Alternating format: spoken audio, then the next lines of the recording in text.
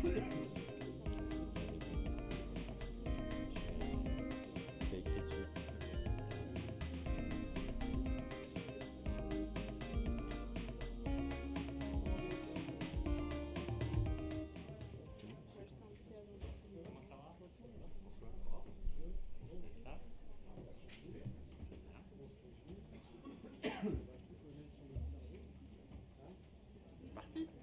Une partie tu, c'est- tu- On passe la parole à, à Dan. hein. Euh, Donc vous, vous commencez et Oui, puis vous passez la parole à. Dan. Voilà, voilà.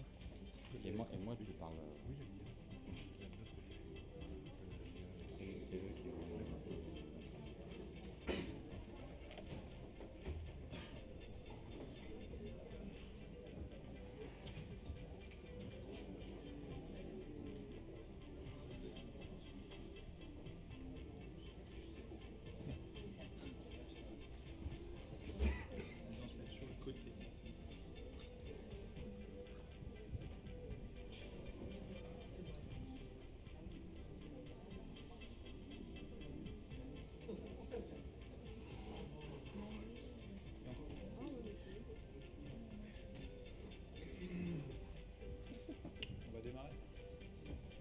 Tout le monde est très sage, très attentif ce soir. Je vous propose qu'on démarre euh, cette conférence. Donc euh, j'attends juste mon vice-président Yannick, merci de me rejoindre. Donc bienvenue à, à toutes et à tous pour cette soirée euh, un peu spéciale ou très spéciale organisée donc euh, par euh, la CRCC et par le Crédit. Alors ces acronymes, on va vous les décrypter euh, très vite. Alors je vous présente Yannick Flash, vice-président de la CRCC, Bonsoir. et votre serviteur Patrick Muller, président de la même CRCC. Alors Yannick, c'est quoi la CRCC La CRCC, c'est la compagnie régionale des commissaires aux comptes. C'est l'organe d'administration en région de cette profession de, de commissaire aux comptes qui a un rôle de certification des comptes des sociétés et un rôle de prévention, avec un rôle de procédure d'alerte, un rôle de révélation des faits délictueux également. Alors, on connaît les commissaires aux comptes sur les différents secteurs tu viens de citer, la certification, les attestations, sur le domaine financier, évidemment, aussi, sur les sujets de prévention euh, des difficultés des entreprises. Là, on n'est pas du tout sur ce sujet-là. Et qu'est-ce qui nous emmène euh, à, nous retrouver finalement conjointement en partenariat avec le Crédit Alors, vous pouvez voir un certain nombre de, thématiques, euh, juste avant, sur la slide précédente, merci, euh, avec différentes valeurs qu'incarnent les, commissaires aux comptes, qu'ils portent. Et il y a surtout un terme, vous voyez, un commissaire aux comptes, un tiers légal au service de l'intérêt général. Et c'est vraiment pour ça euh, qu'on est là ce soir avec vous. On vous remercie euh, également de votre présence. Euh, le commissaire aux comptes a une mission vraiment d'intérêt général, c'est-à-dire que euh, son rapport de certification va pouvoir servir l'ensemble des tiers qui, interagissent avec une société. Ça peut être les actionnaires, ça peut être l'État, les banques tout simplement lorsqu'elles vont octroyer des, des financements bancaires. Voilà, donc euh, eh bien, ce soir, d'une manière plus générale, nous ouvrons encore davantage le, débat euh, autour de, la prévention, parce que le cerveau, c'est... euh, il y a la prévention donc, du commissaire aux comptes et à la fois, il y a moyen, avec un cerveau bien entraîné, d'aller beaucoup plus loin dans la réussite des entreprises. Et donc, nous partageons à ce moment-là et nous accompagnons les entrepreneurs. Oui, alors on a, Xavier. on a abordé plusieurs autres sujets. Euh, on n'est pas resté que sur ces domaines de certification des états financiers. Vous voyez à l'écran quelques domaines qu'on a, qu'on a déjà initiés au sein de cette compagnie régionale, puisque euh, on est sur le territoire alsacien des deux, des deux départements, euh, donc comme la blockchain, les systèmes d'information, le numérique, évidemment, tout ce qui est stratégie digitale. Mais ce soir, effectivement, dans le cadre du partenariat qu'on a noué avec le Crédit, on a effectivement eu l'occasion d'aborder la QVG. Certains connaissent, certainement la QVT, mais la QVG, tu peux nous en dire un mot peut-être, un peu plus précisément? Oui, la qualité de, de vie globale, Jean-Denis Budin vous en dira certainement un peu plus euh, tout à l'heure. Alors ce que je trouve formidable dans la qualité de vie globale, c'est qu'une formule mathématique euh, est à appliquer pour euh, être en bonne santé, avoir une qualité de vie générale. Une qualité de vie au travail, une qualité de vie hors travail et la santé, tout simplement. Et en fait, avec une simple équation, une addition mathématique, euh, c'est une, une, recette à appliquer voilà, pour avoir une vie sereine et pouvoir bien interférer avec son environnement. Et là, on se retrouve très proche des dirigeants d'entreprise dans nos missions. Et on s'est dit que de réfléchir ensemble sur le sujet du cerveau, de voir comment il fonctionne, de voir comment on peut mieux l'entraîner hein, euh, dans une vie personnelle, mais dans une vie professionnelle aussi, ça avait du sens. Alors, on va accueillir euh, plusieurs, euh, plusieurs intervenants ce soir, mais il y a un maître de cérémonie ce soir, c'est Dan Leclerc, qui se présente comme un magicien, mais, pas que alors ça, il va vous expliquer pourquoi, certainement. Donc ce qu'on vous propose, c'est tout simplement de lui passer la parole. Alors il y a quelques petits détails techniques que tu voulais aborder. Oui. Euh, donc nous avons un, live. Euh, donc pour les personnes qui, souhaiteront prendre la parole, euh, notamment, je propose, c'est prévu à la fin au niveau des, des questions-réponses. vous avez tous devant vous un micro. Il faudra bien appuyer sur le, sur le bouton mic et puis couper euh, juste après. Et nous avons la chance également d'avoir une euh, championne, euh, ex-championne du monde de, ski de descente. Et Marion Roland est venue avec quelques photographies et pourra, pourra faire des, dédicaces à la fin de la conférence. Voilà, et puis une petite dédicace aussi au territoire corse, parce que je crois que ce soir, il y en a qui nous suivent en direct live, directement de Corse, mais ça, Pascal nous expliquera tout à l'heure euh, d'où vient son fan club. Dan, on vous laisse la parole pour animer, co-animer cette, euh, cette belle conférence. Euh, à vous de jouer. Merci beaucoup. Patrick Muller, merci. Yannick Flash. Merci à vous. Nous voilà donc réunis dans ce magnifique amphithéâtre Lucien Hirsch pour euh, cette conférence organisée par CRC. C'est un, plaisir évidemment d'être euh, avec euh, vous toutes et tous réunis. C'est aussi une initiative évidemment que, que nous saluons toutes et tous. Et comme vous l'avez dit, cette QVG initiée par le Crédit et Jean Denis qui interviendra tout à l'heure est une une, amorce d'une nouvelle manière euh, d'aborder euh, les, euh, les, compétences du chef d'entreprise. Et on connaît les experts comptables, les commissaires aux comptes, comme étant le partenaire privilégié eh bien, du chef d'entreprise. Ils sont à leur côté sur le, juridique, sur la comptabilité, sur l'administratif, sur le conseil, sur moult choses. Et dans ce conseil, vous l'avez tout à fait et justement identifié, toute cette partie finalement humaine que il y avait jusqu'à un certain temps tendance à oublier ces choses réparées par ne serait-ce que l'initiation de cette, conférence. Vous l'avez aussi dit tout à l'heure, c'est un, entraînement, une sorte d'entraînement, un entraînement euh, régulier, sportif finalement, intellectuel, mais également sportif. Et toute l'idée du crédit, dont je fais une petite, euh, euh, euh, apostrophe pour le, dire, a été initiée, imaginée comme un centre d'entraînement sportif, comme l'INSEP pour les sportifs, et eh bien c'est un centre d'entraînement pour les dirigeants. Ce centre d'entraînement pour les dirigeants, j'avais envie de dire une mascotte, mais c'est évidemment pas une mascotte, c'est surtout une, une parraine, une marraine, une parraine ça, se ne se dit pas, une marraine, et cette marraine, vous l'avez également dit Patrick Muller tout à l'heure, c'est une ancienne championne du monde de ski. Est-ce qu'on peut dire ancienne. Non, finalement, tu es championne du monde du ski, tu restes, c'est un titre, il est à vie. Et euh, cette vie euh, de championne, elle n'a pas toujours été simple. Tu vas venir nous en parler. J'aimerais pour cela que vous l'accueilliez, mesdames et messieurs, Marion Roland.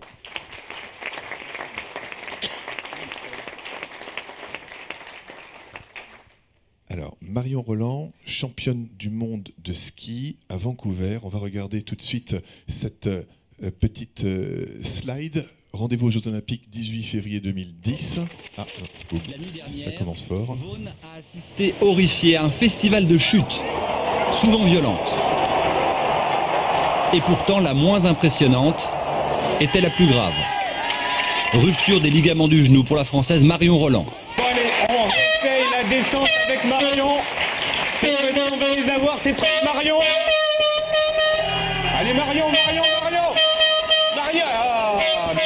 oui, toujours 6 secondes. Hein,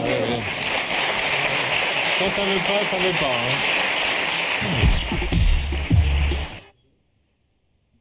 Alors vous riez, mais évidemment vous en doutez bien, Marion, elle, elle riait pas du tout. Elle riait pas du tout et rien que de l'évoquer encore aujourd'hui, cinq ans après notre première rencontre, Marion Roland, voilà, j'en ai encore des frissons et, tu vas nous en parler. Qu'est-ce qui s'est passé ce jour-là et surtout qu'est-ce qui s'est passé après? Parce que ce qui est intéressant, c'est que il y a eu un bond, il y a eu un saut, il y a eu un accompagnement, il y a eu énormément de choses qui se sont passées. Mais avant ça, retour euh, avec euh, sincérité, évidemment, avec euh, humilité et avec beaucoup d'émotion. Marion. Oui, bonsoir à tous. en général, quand je parle de ma carrière, c'est vrai que je montre pas cette image-là en premier. Je montre plutôt la, course de 2013 où j'ai été championne du monde. Parce que, en fait, cet événement-là, ça fait partie de mon histoire mais ça a été dur à traverser quand même. Ça a été dur à digérer, ça a été dur à, accepter parce qu'on euh, s'entraîne toute une vie pour, euh, bah, représenter son pays pour les Jeux, les Jeux, Olympiques, pour les grosses compétitions internationales. Et euh, dans la vie d'un skieur, bah, dans la vie d'un sportif de haut niveau, se faire mal, se blesser, se faire des grosses blessures, forcément ça fait partie du jeu, donc on vit avec. En 2010, aux Jeux Olympiques, je fais partie des quatre filles euh, qui représentent la France en descente, en super G et en super combiné. Donc euh, une manche de slalom, une manche de descente. Donc je suis déjà dans l'élite de mon sport, euh, de, mon sport au niveau français. Je suis une bonne outsideuse au niveau mondial, sans être forcément une grosse chance de, médaille. C'est mes premiers Jeux Olympiques. Donc j'aborde cet événement bah, forcément avec un peu, de, pression, un peu de, peur aussi, forcément, parce que c'est tellement plus grand les Jeux Olympiques que, les Coupes du Monde qu'on fait tout, le reste de l'année, que, que, forcément il y a un peu plus de, pression à l'intérieur. Et là, ce jour-là, au départ, euh, sur cette chute lamentable, comme on peut le voir, je m'étale à 4 mètres du départ. Mon bâton à la poussée de départ dérape un tout petit peu sur le, petit pad qu'on a pour la poussée de départ. Et en fait, en voulant me rattraper, mon genou euh, vrille un petit peu et je me recasse le genou que j'avais déjà cassé trois ans avant. Donc c'est une récidive de, rupture du, ligament croisé. Là, sur le coup, c'est vrai que ça, peut paraître un petit peu ridicule de, s'étaler comme, une crêpe euh, sur, une poussée de départ, mais euh, le, côté qui a été hyper dur à traverser, c'est le côté justement mental de ces... ce qui s'est passé euh, dans les médias. 2010, c'est le début un petit peu des réseaux sociaux, donc ça commence à faire des groupes euh, sur Facebook. Euh, ça, ça, a pas mal tourné Yann Barthès sur le, petit journal de Yann Barthès, sur les émissions un petit peu comiques, en tout cas qui, qui, sont un peu satiriques. Et, et, donc il a fallu que je me reconstruise vraiment à ce niveau-là, à cette époque. Euh, j'ai la chance, je pense, d'avoir commencé à, préparer, euh, à me préparer de manière mentale, un peu avant, un peu en amont de euh, cet événement. C'est-à-dire qu'à partir de, la fin de saison 2009, je, je, finis en ayant mis des bonnes choses en place sur le plan physique, sur le plan technique au niveau du ski. Par contre, je sens qu'il y a des blocages au niveau mental donc euh, je, recherche un préparateur mental et j'attaque à, parler avec ce préparateur mental. On attaque tout un travail. Heureusement que je l'avais euh, justement après cet événement des, Jeux Olympiques, parce que je pense que euh, sinon j'aurais sûrement arrêté ma carrière à, ce moment-là. se réparer un genou, ça prend six mois. Et accepter cet échec et cette mise en avant, en fait, euh, alors que le reste de l'année, on est complètement, enfin, mis à part par les, par les, grands spécialistes, enfin, ceux qui adorent regarder le ski tous les week-ends, on est plutôt euh, dans l'ombre, on va dire, par rapport à d'autres sports comme le football, euh, comme les rugbyman, qui sont beaucoup plus mis en avant. Et, et là, on n'était pas, enfin, j'étais pas vraiment préparée à tout ça. Et il a fallu vraiment que, que je travaille, donc retravailler physiquement pour remettre en place tout ce qui était cassé à l'intérieur, euh, retravailler euh, mentalement pour accepter euh, cet événement de ma vie et en faire finalement bah, une expérience de plus dans ma, dans ma carrière. Et puis bah, travailler physiquement sur, sur la préparation physique, en musculation, et continuer le travail en préparation mentale. Donc la préparation mentale, ici on voit une image sous la cascade. Alors la cascade, c'est impressionnant la cascade. La cascade, c'est une, euh, pratique euh, qui est euh, rustique, qui, vient de la culture japonaise, de, du shintoïsme. Et, en fait, mon préparateur mental a amené cette pratique sur le, sur côté sportif, justement pour, cristalliser un petit peu les, sensations et les émotions qu'on peut travailler justement sous cette cascade. Parce que là, on voit une photo qui, est assez impressionnante et qui a l'air assez art martial et compagnie, mais il y a toute une préparation en amont avec euh, de la méditation. On s'approche pour euh, ressentir les embruns de la cascade. L'idée, c'est de se connecter vraiment euh, sur le côté spirituel, effectivement, avec, avec les quatre éléments de la Terre, mais pas que. quand on est sous une cascade comme ça, c'est une cascade, là on voit pas, mais elle fait, je sais pas, 60 ou 80 mètres de haut. Donc on peut sentir vraiment le poids de l'eau qui nous tombe sur la, tête. Et même en plein été, l'eau est quand même vraiment froide parce que c'est des cascades de montagne. Et, euh, donc on s'approche au fur et à mesure de, sous cette cascade. Et l'idée, c'est une fois qu'on est sous cette cascade, on a des mouvements de, euh, effectivement à faire d'arts martiaux pour, euh, pour le, côté justement pour il faut arriver à se connecter, à vivre avec cet élément qui nous perturbe et qui nous tombe dessus et où on n'a pas envie de rester parce qu'on a froid, qu'on a mal à la tête, qu'on n'est pas bien. Mais en même temps, cette cascade, elle représente aussi une sorte de purification. L'eau, elle est vivante, elle, euh, elle nous tombe dessus, elle est là aussi pour nous sortir un petit peu de notre zone de confort. Et avec mon préparateur mental, cette cascade, quand j'allais vraiment complètement sous la cascade et vraiment dans les plus gros, les vraiment sous le, dessous très très fort, parce qu'il y a plusieurs, euh, plusieurs passages. Au début, on commence vraiment sur le bord de la cascade, puis on se rapproche au fur et à mesure pour vraiment être sous le jet euh, complet de la cascade. Euh, il faut garder la fluidité des mouvements qu'on doit faire sur le, plan des arts martiaux. Et en même temps, lui, il a rajouté justement la visualisation d'une course. nous, on a l'habitude en ski, c'est vrai que de faire beaucoup de visualisation. On sait, même maintenant, je pourrais vous refaire la descente, la descente peut-être des championnats du monde ou même la, descente de Lake Louise qui va avoir lieu le week-end prochain pour les garçons. Je connais la piste par cœur, je l'ai fait une dizaine de fois. Et je sais exactement quelle trajectoire il faut avoir parce qu'on fait des reconnaissances, on fait des entraînements dessus.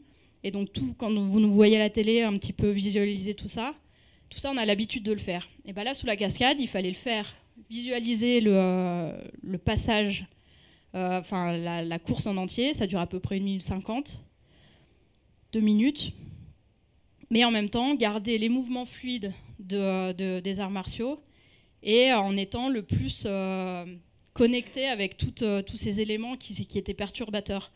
Parce que justement, sur les, la descente les, descentes qui ont suivi, quand il a fallu reprendre justement le ski, les entraînements et, euh, la préparation générale, bah, il n'y a pas eu que des moments faciles. Il y a eu forcément des moments où j'ai dû prendre sur moi, où j'ai dû, dû sortir de ma zone de confiance ou de, confort pour, pour justement bah, être toujours sur le fil quand on est, quand on est en ski. En ski de descente surtout, on est, on, on, est euh, entre le moment où je suis trop bien et du coup trop accroché sur mes skis et euh, le moment où je vais presque tomber. Donc euh, c'est toujours un petit peu la balance à avoir entre les deux. Et c'est justement de, travailler sur des moments comme ça qui sont pas agréables et qui sont, qui sont quand même un passage à, avoir qui nous amène justement sur, euh, sur des, des, moments où on peut euh, arriver euh, à récupérer une petite faute de quart sur, sur, pendant une course ou, ou, à donner un petit peu, à tendre une trajectoire qu'on n'avait pas forcément prévu de tendre parce qu'on avait un peu peur justement que ça passe pas derrière. Tout ça, c'est justement pour, pour travailler en amont tout, toutes les mises en situation qui peuvent justement un petit peu bugger pendant, les situations de course euh, et, que ça devienne le plus naturel possible en fait. Et que, ce soit presque de l'instinct. Alors finalement, cet instinct, justement, il se développe au travers de l'entraînement, au travers de la, de, la, répétition.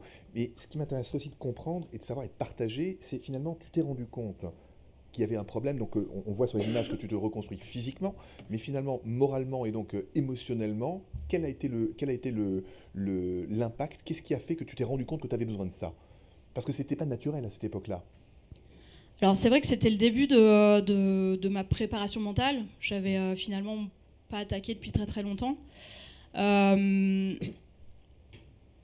la, la préparation mentale, là vous voyez la cascade, mais il y a, tout plein d'outils euh, utilisés dans la préparation mentale.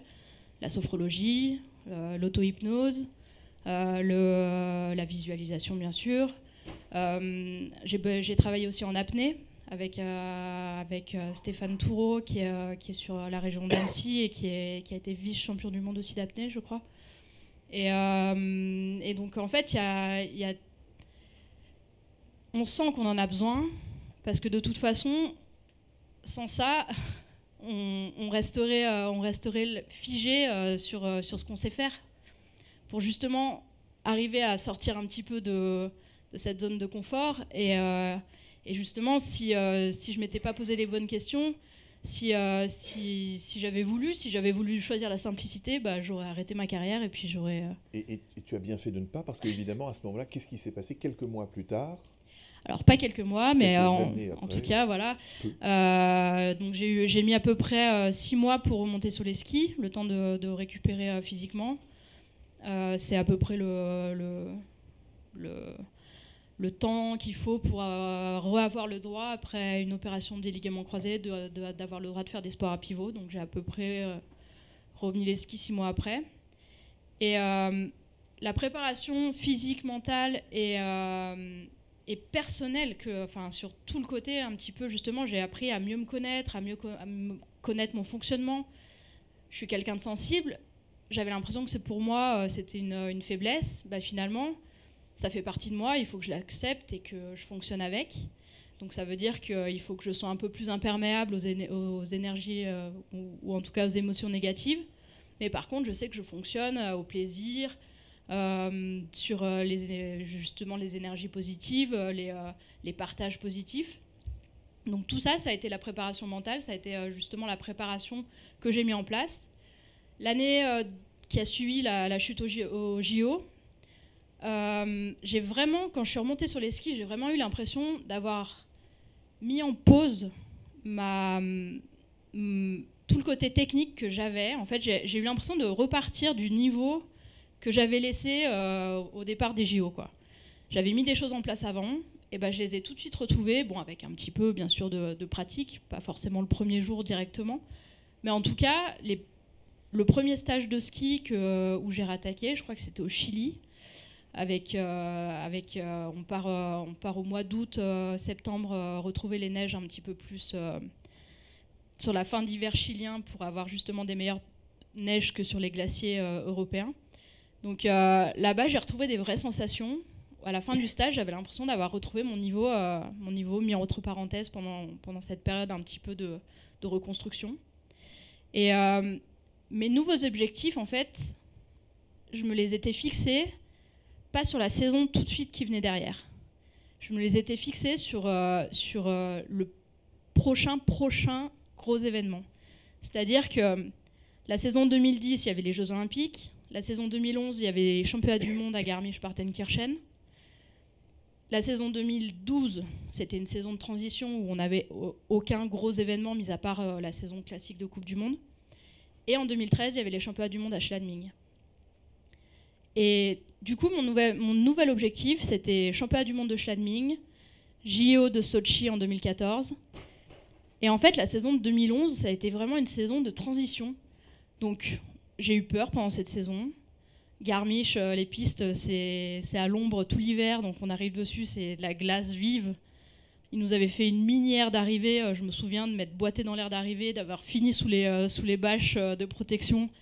J'ai eu peur pendant ces moments-là, j'ai dû, euh, dû prendre sur moi pour prendre le départ, parce que c'était pas facile. Mais tout ce que j'avais mis en place et tout ce que j'étais en train de mettre en place, en fait, je savais que ça pouvait me servir pour la suite. Donc, euh, je le prenais comme ça venait. Euh, je, continuais ma préparation mentale. J'allais crier dans les bois quand ça allait pas bien. Et puis, euh, et puis après, je me remettais au travail derrière. Et, euh, la saison 2012, ça n'a fait que, engranger les meilleurs résultats au fur et à mesure. J'ai commencé à intégrer de plus en plus le top 10, d'int- d'intégrer régulièrement de temps en temps le top 5. Et puis à la fin de la saison, j'ai fait mes deux premiers podiums en Coupe du Monde sur la piste des, futurs championnats du monde de Schladming. Un podium euh, deuxième en, en descente et troisième en Super G.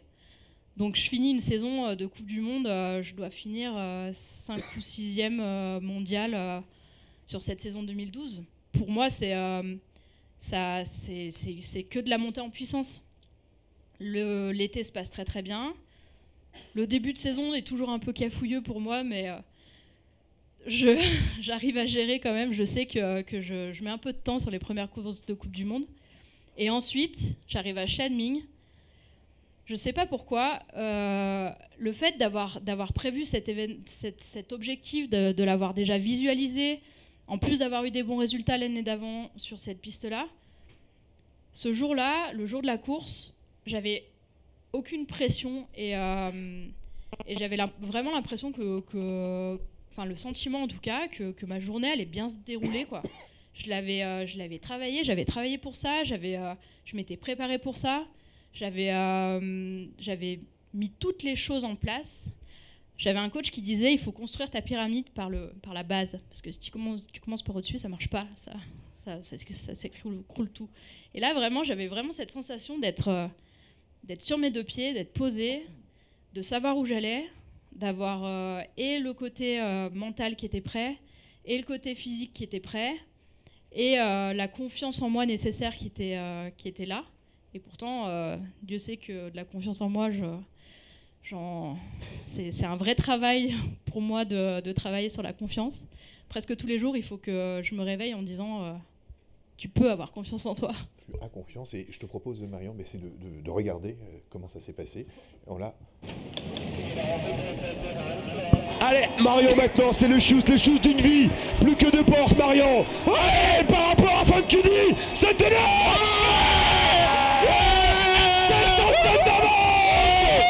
Marion qui prend la tête oh Incroyable la course ce jour-là a duré 1 minute 50 secondes et 0,0 ah, centième. Donc euh, il a fallu tenir toute la course. Euh, on se rend pas vraiment compte parce que euh, on a des pointes de vitesse qui sont, qui sont quand même assez élevées. Sur cette course-là, je ne pourrais pas vous dire les pointes de vitesse. Chez les filles, ça a été enregistré sur d'autres compétitions jusqu'à 146 km/h sur des pointes de vitesse. Donc en descente, on a des moyennes qui, varient autour de 110, 100, 110, 100, 120 km/h sur une descente. Euh, j'ai peu de souvenirs de cette course. Franchement, autant j'arrive à me souvenir de quelques sensations le matin au réveil, mais pas forcément sur la course en elle-même. Je sais que je me suis dit à des moments, lâche tes skis, tiens bon. J'avais toujours l'impression d'être sur le fil, justement, d'être, euh, d'avoir des fois le, ski qui partait sur une plaque de glace, mais je, savais que, mes jambes allaient tenir, que j'allais tenir jusqu'à l'arrivée. Et en fait, on ne se rend pas du tout compte euh, qu'on est en train de faire une belle descente, parce que souvent en ski, justement, quand on, quand on se sent trop bien, c'est qu'on est trop accroché et que du coup, on n'avance pas assez vite. Et en fait, je m'en suis vraiment rendu compte à, l'arrivée. Quand je passe l'arrivée, il y a un gros panneau d'affichage en, face de moi et on voit du vert sur le panneau d'affichage. Je partais avec le dossard 22. À l'époque, le 22, c'était la, fin de la première série. En fait, toutes les, les meilleures que moi étaient déjà passées. Et je savais que, euh, que la fille qui était devant, elle n'avait pas été battue, elle partait avec le dossard 3. Et depuis le dossard 3, personne n'avait avait réussi à lui passer devant. Donc comme j'arrive avec le 22, que toutes les meilleures euh, sont déjà passées, c'est vrai que j'exulte un peu à la fin parce que je me rends compte à ce moment-là que effectivement j'ai fait, une belle course et, euh, qu'il y a sûrement, sûrement une médaille à la clé. Donc voilà, c'est de le revoir comme ça, c'est encore plein d'émotions et, euh, c'est vraiment une journée euh, assez incroyable. Mais, euh, je sais tout le travail qu'il y a derrière et, toute la préparation qu'il y a derrière. Ne, pas rester sur un échec, finalement, bah, ça peut ouvrir de belles portes aussi. Bravo. Merci beaucoup. Merci beaucoup Marion pour ce, témoignage en plein de sensibilité et bien sûr de beaucoup d'émotions. Et on a compris ben, la préparation mentale a finalement joué, euh, enfin joue tout son rôle à l'intérieur de, cette, de, ce, de cet exploit, parce qu'on peut appeler ça un exploit. Et il y a juste une petite chose que je trouve intéressante à sensibiliser aussi pour l'ensemble des, personnes qui nous écoutent, même en Corse, euh, ou les autres. Je fais ça pour, mais oh, justement en Corse, au contraire. je, euh, je, suis ami avec Pascal Leonetti. Hein, je, vous sachiez, si jamais. Oui, j'ai été puni par. Euh, c'est cette, partie sensibilité émotionnelle que, vous, euh, que, tu, que, tu, que tu exprimes. Ça peut paraître comme ça. euh, moi, je me mets un peu à votre place ici dans la salle en disant, euh, euh, on se met sous une sous une douche de, enfin, je dis une douche, hein, euh, sous une cascade, on se rend pas compte de la de la hauteur que ça. Ça fait un petit peu, c'est un petit peu la spiritualité qu'il y a dedans est, toujours euh, difficile à connecter. Certains embrassent les arbres, d'autres euh, la terre. C'est quelque chose qui n'était pas jusque là ni reconnu ni surtout euh, euh, sensible. Aujourd'hui, je crois que ça en fait entièrement partie. Ça fait partie de l'accueil inconditionnel que tu y mets également. Tu as été raccroché à tout ça et finalement ça aide. Et notre connexion euh, neuronale, notre cerveau et notre émotion doivent être en phase avec tout cela. Euh, oui. euh, après, euh, effectivement, la, cascade fait partie de, tout ce qui m'a permis de- d'accéder à, cette ouverture et, à cette meilleure connaissance de moi sur, le plan mental et, sur un plan personnel même, je dois dire.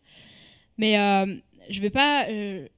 je vais pas vous dire à tous d'aller euh, vous mettre sous une cascade, euh, que, demain vous serez meilleur, bien sûr. C'est juste un exemple pour. euh, voilà, c'est le côté symbolique. Euh, moi, avec mon préparateur mental, il m'a emmené sous la cascade. Il n'emmène pas forcément tout le monde sous la cascade. Avec d'autres, il va justement faire de l'apnée. Euh, avec d'autres, il, a été aussi euh, euh, formé aux arts martiaux. Il va faire peut-être un peu plus de- d'épée, euh, de sabre, je ne sais plus comment ça s'appelle, de- d'a- d'arts martiaux. Avec d'autres, il va faire uniquement de la, de visualisation et, de, presque de, de l'auto-hypnose. Il va uniquement bosser là-dessus. Donc après, il faut vraiment trouver la, façon qui vous convient de, de- de vous épanouir dans votre, dans votre quête de, de, de- de travail du cerveau et de, de, connexion exactement. Euh, L'idée de se, de se connecter, c'est de se connecter en, en- en QVG, en, en connexion globale. C'est euh, vraiment être euh, en accord avec, euh, avec ce qui nous fait vibrer, avec ce qui nous fait, ce qui nous fait du bien et ce qui nous fait avancer. Donc la cascade, mais aussi ça peut être d'aller faire une super journée de ski avec les copains ou avec une amie. ou euh, ou, euh, ou j'en sais rien, faire du paddle sur un lac euh, par, par une belle journée d'été. Ça peut être aussi, aussi ça de, de- de- de trouver votre façon, ou alors justement d'aller faire du canyoning et de sauter des, des, des sauts de 15 mètres de haut et, et en Corse avec les copains en Corse, et puis de sortir justement de sa zone de confort à ce niveau-là. quoi. C'est euh, c'est vraiment de se, connecter globalement, de, savoir qu'on on se fixe nous-mêmes nos limites en fait. Et que, euh, quoi qu'il arrive, euh, bah, on a la vie qu'on se donne. Quoi. On- on est capable de tout, il faut juste qu'on ait envie de le faire. Et qu'on se donne les moyens. Merci beaucoup. Marion Roland, on peut l'applaudir encore très fort, s'il vous plaît, parce qu'on pourrait évidemment t'entendre et t'écouter pendant des heures. Et bravo pour cette belle carrière. Alors, on a vu le ski, on a vu le sport, on a vu l'entraînement, un autre type d'entraînement et surtout une autre personnalité que nous avons la chance d'avoir avec nous aujourd'hui. Il s'agit d'un célèbre sommelier. Il est, euh, on, peut, le dire comme ça, alors, on peut le dire, hein, pour les amis. Oh, notre euh, sommelier, meilleur sommelier de France, ancien sommelier de l'auberge de Lille chez Marc et Berlin, 3 étoiles euh, à Lille Eisern. Il lui est arrivé une aventure euh, un petit peu, un petit peu hors du commun. Euh, moi, si vous avez la possibilité de le suivre sur, sur Facebook, de regarder ses, ses présentations, ou même encore mieux, le Graal absolu, être euh, dans une de ses dégustations, c'est un poète des mots, un poète du palais, un poète du vin. Nous avons la chance et le plaisir de l'avoir avec nous, mesdames et messieurs, Pascal Leonetti. Il va poéter pour nous. Pascal, je suis très heureux que tu sois ici avec nous. Re. Re. Bonjour Pascal. Tu as été euh, invité il y a quelques années de cela euh, à une, euh, une expérience scientifique, à passer un IRM pour tester finalement si dans le cerveau, dans l'esprit, dans, le, dans la tête, dans le cerveau, il y avait des zones qui étaient marquées spécifiquement pour le vin. Et finalement, tu as, tu, as fait cette expérience, mais ça ne s'est pas passé exactement comme prévu. Pascal. Bonsoir à toutes, bonsoir à tous. Alors je tiens tout de suite à vous dire que ça va être beaucoup moins passionnant que, que Marion. hein. Tout je vais vous dire, même à la rigueur, c'est... mais euh, c'est, euh, moi, tu m'as scotché. C'est vraiment, franchement, c'est...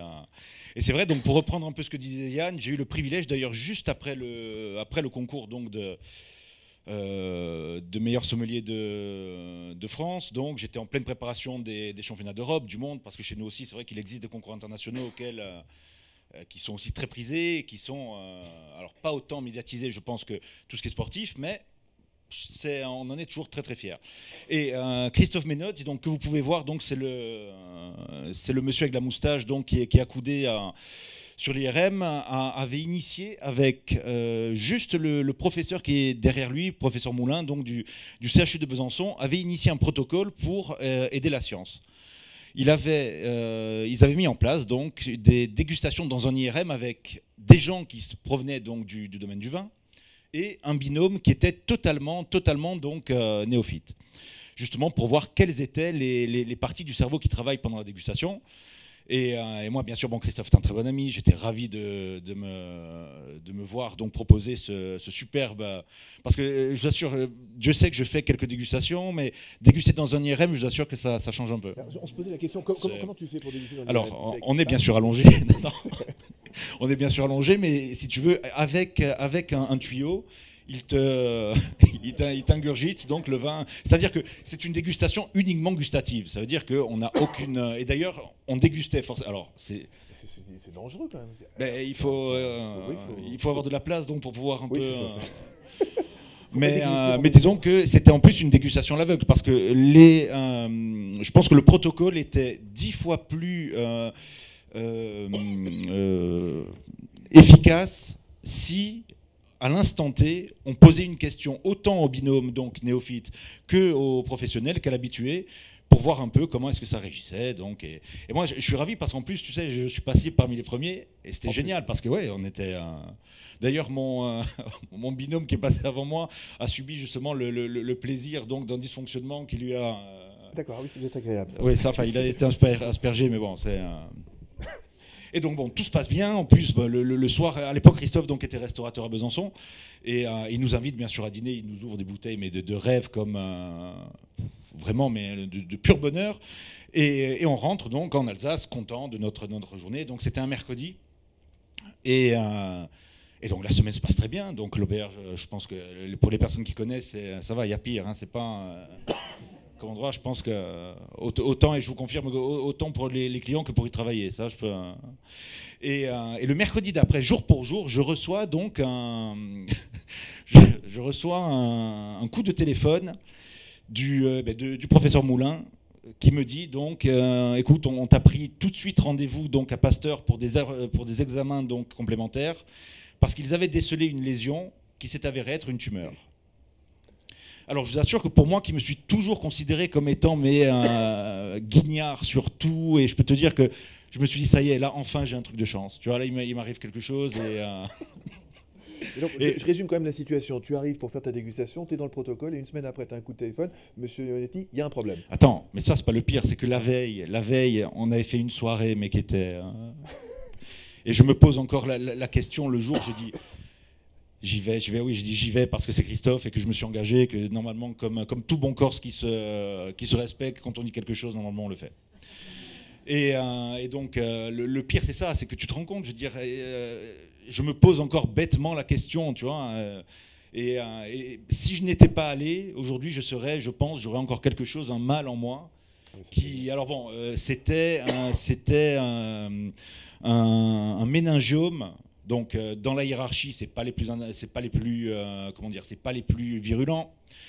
Euh, c'est souvent bénin, donc le mien, euh, ouais, c'était donc c'était pas malin en tout cas.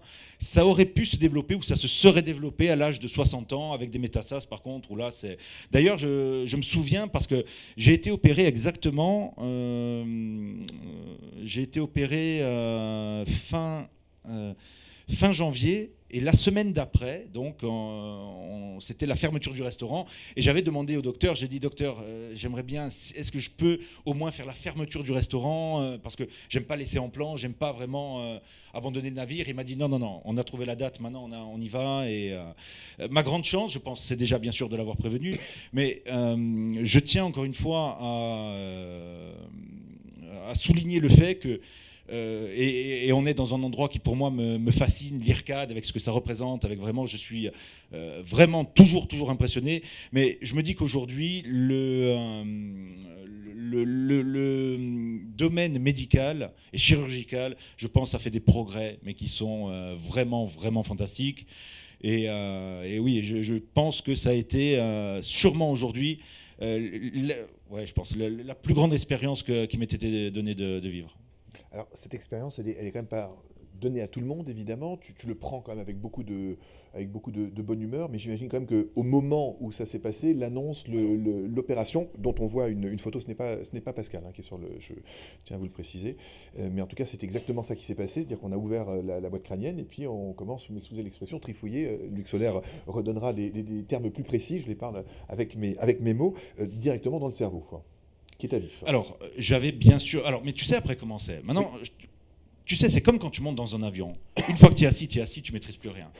Quel était mon intérêt Quel était mon intérêt vraiment d'aller psychoter, d'aller euh, me, me poser des, des- enfin, me, me mettre dans un état qui de toute façon ne changeait rien ou quoi qu'il arrive ne pouvait qu'empirer. Après, il faut se dire qu'à l'époque où j'étais dans la restauration, euh, j'avais un emploi du temps qui était complètement dingue. Donc, euh, ma, ma grande chance, c'est que j'avais pas envie d'y penser parce que tu sais moi je suis quelqu'un qui, qui ne n'essaie de voir que le positif.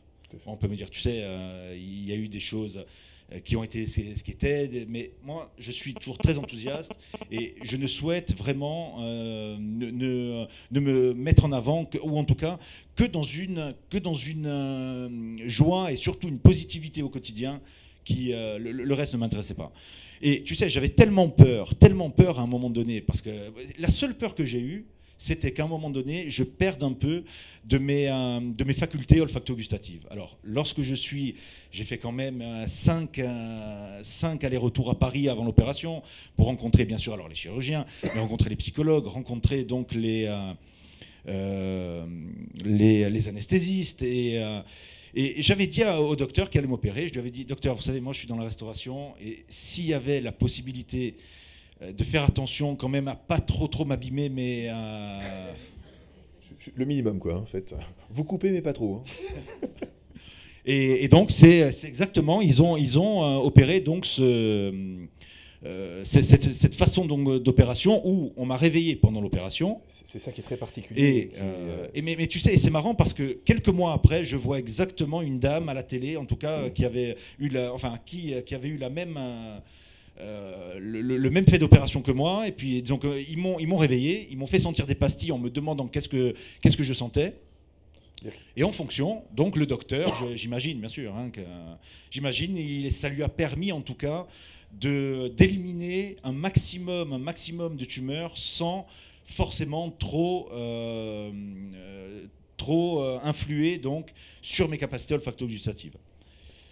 Et euh, Le réveil, donc après l'opération se déroule bien, Ouais, bien. Tout, se, tout se passe bien, tu retrouves l'ensemble de tes facultés. Alors, en tout cas, ça, on peut le. figure-toi, disons que une semaine après, une semaine après, donc, enfin dans la semaine, allez, euh, avant euh, dix- dix- mo- moins de 10 jours, il trouve que je, me, je récupère très bien. Que, et d'ailleurs, il me donne, il me donne la possibilité le samedi, le samedi donc, de rentrer en Corse, donc avec ma maman qui était là et qui et qui était venue me voir, bien sûr, et euh, il trouvait, ouais, c'était bien. Donc tout se passe bien. Ah ouais, c'était parfait. Et alors après, que s'est-il passé? Mais entre temps, bon, pff, vous savez, moi- je, je viens, j'ai une culture un peu. euh, moi, moi, j'ai- j'aime bien à un moment donné, euh, bon, comme, comme tout le monde, j'imagine, mais prendre un peu de plaisir. J'aime bien un peu la vie, j'aime bien et euh, et euh, j'ai honte de le dire parce que, hein. franchement, euh, le jeudi, donc je me sentais bien, enfin en tout cas c'est bien, et j'ai profité donc d'un moment de relâchement, je pense, de tout le monde, et puis j'ai fait une fugue. J'ai quitté l'hôpital. Donc, et pendant, pendant 8 heures de cette journée, de ce jeudi, je ne sais plus exactement c'était quel jour, donc plus, plus moyen de savoir où est-ce que j'étais. Alors, c'est vrai que, bon, rentrer encore, ça aurait été difficile, forcément, c'est sûr, mais, mais disons que ce qui m'intéressait, c'était vraiment revenir en Alsace. Alors, euh, c'est marrant parce que, bon, je pense qu'après, on va. euh, euh, Dan, après, je pense qu'on va en faire peut-être un peu. euh, on va en parler Bien sûr. un peu. Mais je me revois très bien. Donc, déjà, j'avais fait mes valises consciencieusement, comme. j'avais encore, donc, j'avais, bien sûr mon, mon bandeau encore. encore sur la tête. sur la tête. Et puis, donc, je, je me vois encore partir de l'hôpital, prendre le métro, arriver gare de l'Est, m'acheter mon billet pour, pour Colmar et repartir. Ce qui a été le plus long, ça a été l'attente de trouver un taxi à Colmar pour me ramener chez moi. Ça, je pense que ça a été le. Bonjour. C'est monsieur, monsieur Valentin, ça ne le dérange pas, il passe, hein, juste. Ouais, Mais tu, mais tu vois, de, de- ça, a été, ça a été, je pense, le, le, le moment le plus, euh, le plus désagréable. Mais euh, Une fois que ça s'était fait, tu as repris le, le- le rythme de ta vie tout à fait normalement. Oui, mais moi, tu sais que je suis un impatient. hein. Et alors, bon, forcément, buté comme un Corse que, que je suis, euh, j'avais, hein, en tout cas, euh, le, et, et, euh, contre, contre l'avis des docteurs, contre l'avis. Tu sais, moi, moi je, je me sens toujours. Moi, depuis, je me suis calmé. Depuis. euh, Ça, ça a mis, ça a mis quelques années, mais tu tu t'es Ouais, calmé. mais après, après ça, je pense que j'ai compris. Mais j'ai, si tu veux, j'ai insisté, ou j'ai imposé en tout cas, de revenir travailler à temps plein, donc le 1er mai. Tout ça s'est déroulé donc euh, sans, aucun souci. C'est quand même pas pour, le, le, le kidam, le commun du mortel, se faire euh, ouvrir le crâne, se faire trifouiller, excusez-moi l'expression, dans le, cerveau et puis euh, repartir après comme si de rien n'était. C'est- pas anodin. Qu'est-ce que tu tires aujourd'hui de ce moment et finalement est-ce que ça a changé ta manière de vivre ou est-ce que ça t'a décuplé encore ton, plaisir? C'est sûr que. quel état d'esprit J'imagine, enfin, après, chacun, chacun, vous savez, chacun, je pense, à son libre arbitre, chacun a sa sensibilité, sa façon de penser, et justement sa réactivité en fonction, justement, et Marion, tu nous l'as, pour moi, tu es un exemple, mais, euh, mais vraiment fantastique, de, de volonté, de... Mais je pense que, euh, tu sais, cette période, cette période que j'ai vécue, euh, donc, parce qu'après, je suis retourné en Corse quand même. Donc, Ah oui, en convalescence, on- je, je suis quand même retourné en Corse. Mais je pense que c'est la pire période de ma vie. Et je t'assure que me sentir tomber aussi bas, je me suis dit, tu vois, là, c'est pas moi. Alors, euh, j'ai euh, j'ai tenu donc à, retourner à temps plein, donc euh, beaucoup trop tôt. D'ailleurs, mi-juillet, j'étais encore, en- là, j'étais en arrêt, donc, et ensuite à mi-temps. Et à partir de là, un peu comme Marion, je me suis dit, je ne pouvais pas tomber plus bas, sachant que j'étais, ça m'avait coupé, tu sais. ce que je gardais toujours aussi en tête, c'est me dire que je me sentais, mais d'un niveau de faiblesse physique, bien sûr, parce que forcément, euh, lorsque lorsqu'on on touche au cerveau, ça déclenche des crises d'épilepsie. Alors j'ai été, alors j'ai été shooté, je pense, par la par l'anesthésie. Ensuite, j'ai été euh, euh, chargé comme un missile aux, aux antiépileptiques en sachant que j'étais dans un, un niveau de forme, mais je pense que j'étais. un- Tu vois, là, là, j'ai j'ai repris un peu, un, un peu de. J'ai rien vu, moi. mais disons que j'étais, je me sentais très rachitique, vraiment. euh, et à partir de là, je me suis dit, je peux pas tomber plus bas. Et sachant que j'ai toujours eu euh, cette fibre, vraiment, bah, disons qu'avant la restauration, si tu veux, euh, je jouais au foot et j'aimais le sport. En tout cas, j'ai toujours eu, si tu veux, cette envie, de, cette envie vraiment de, oui, de, compétition. Parce que tu sais ce qu'il y a. euh, déjà, c'est une manière de se surpasser, et ça, je trouve que c'est génial. Et surtout, je pense que dans l'esprit de compétition, s'acquiert un respect, un, code d'honneur qui, à un moment donné, pour moi, me convient très bien. Et je me suis dit, aucun problème, on va, se remettre, on va se remettre d'aplomb. Je savais comment faire.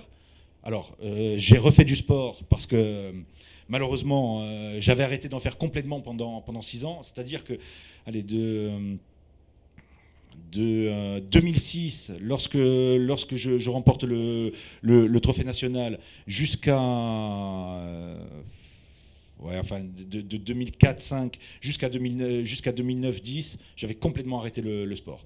Et c'est marrant parce qu'après, après, encore une fois, c'est très très euh, euh, c'est très très subjectif, mais le sport m'a fait perdre 20 kilos.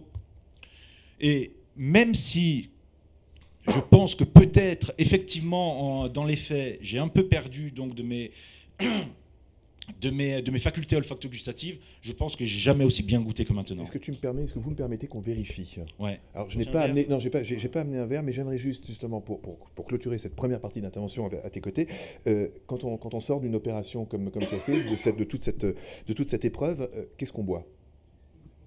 Mais, euh, disons Et que- Description, hein, parce que je voudrais qu'on entende voilà ta, ta verbe si particulière sur ce Alors, sujet. forcément, pendant toute ma période de convalescence, j'étais, j'avais, bon, enfin, j'étais interdit d'alcool, de, vin, bien sûr. C'est après, Et, hein, voilà. avec quoi euh, on célèbre la sortie Alors, je me revois revenir en Alsace et tu sais, euh, en plus, donc, on était dans donc mois de mai, mois de juin, vraiment dans le retour de la, de la, euh, oui, de, de la floraison, du beau temps. Là où je pense que l'Alsace est sûrement une des, plus belles régions au monde parce que tout refleurit, parce que ça sent bon, parce que euh, je me revois encore une fois avec un premier verre de muscat d'Alsace. Et sachant que euh, Corse d'origine, on a ce que, ce que vous appelez vous le muscat d'Alsace, chez nous c'est le c'est le, muscat petit grain. Mais vous, vous l'assemblez souvent, ou voire même, vous le, euh, vous le présentez souvent en monocépage avec du muscat automnel.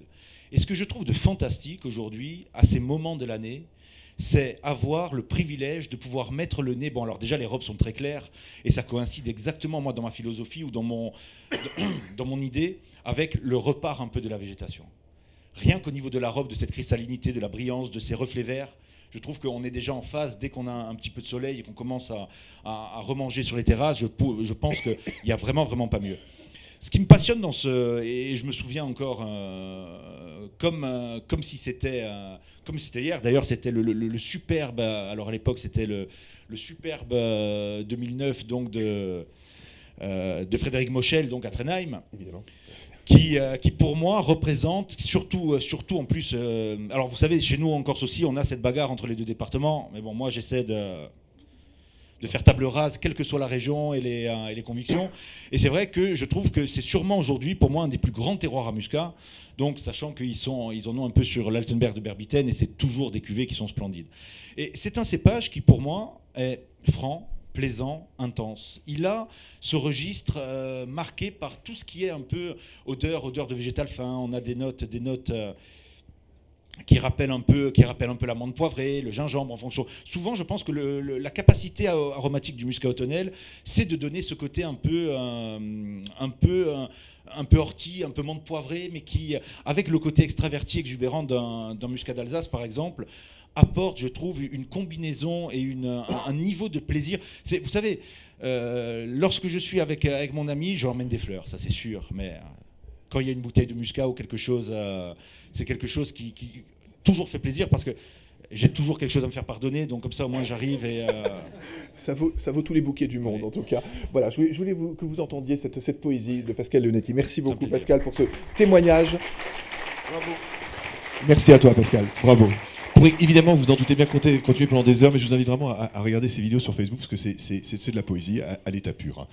Alors, Là, c'est une autre poésie que nous allons voir maintenant. On a pu voir euh, bien, comment est-ce que, quand on était euh, euh, directement malade et opéré par le cerveau, on a vu un témoignage sur le sport.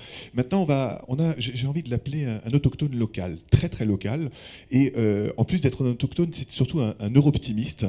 Et il a la particularité, c'est notre prochain intervenant, d'avoir travaillé ici pendant de, de, longues années. Il continue encore de travailler ici. C'est le professeur Luc Solaire. Il a un parcours absolument incroyable. Ce qu'il fait est incroyable.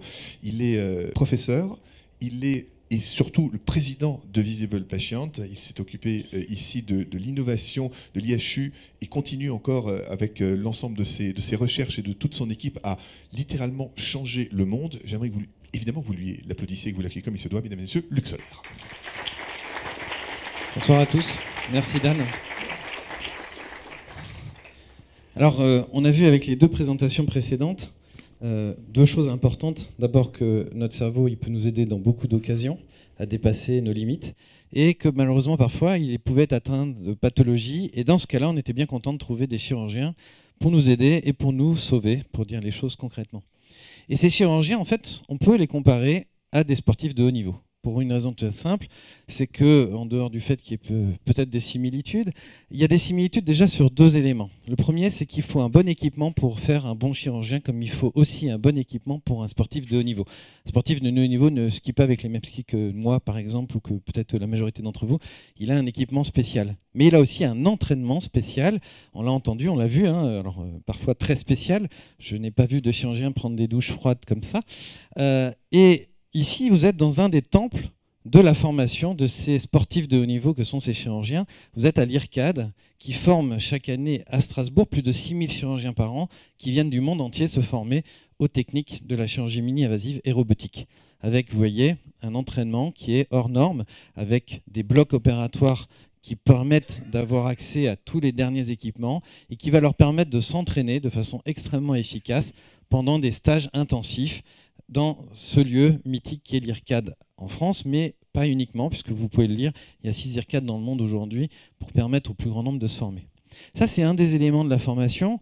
Le deuxième élément, c'est la formation continue. Évidemment, euh, on fait des stages spécifiques, mais il faut continuer ensuite avec les entraînements du quotidien.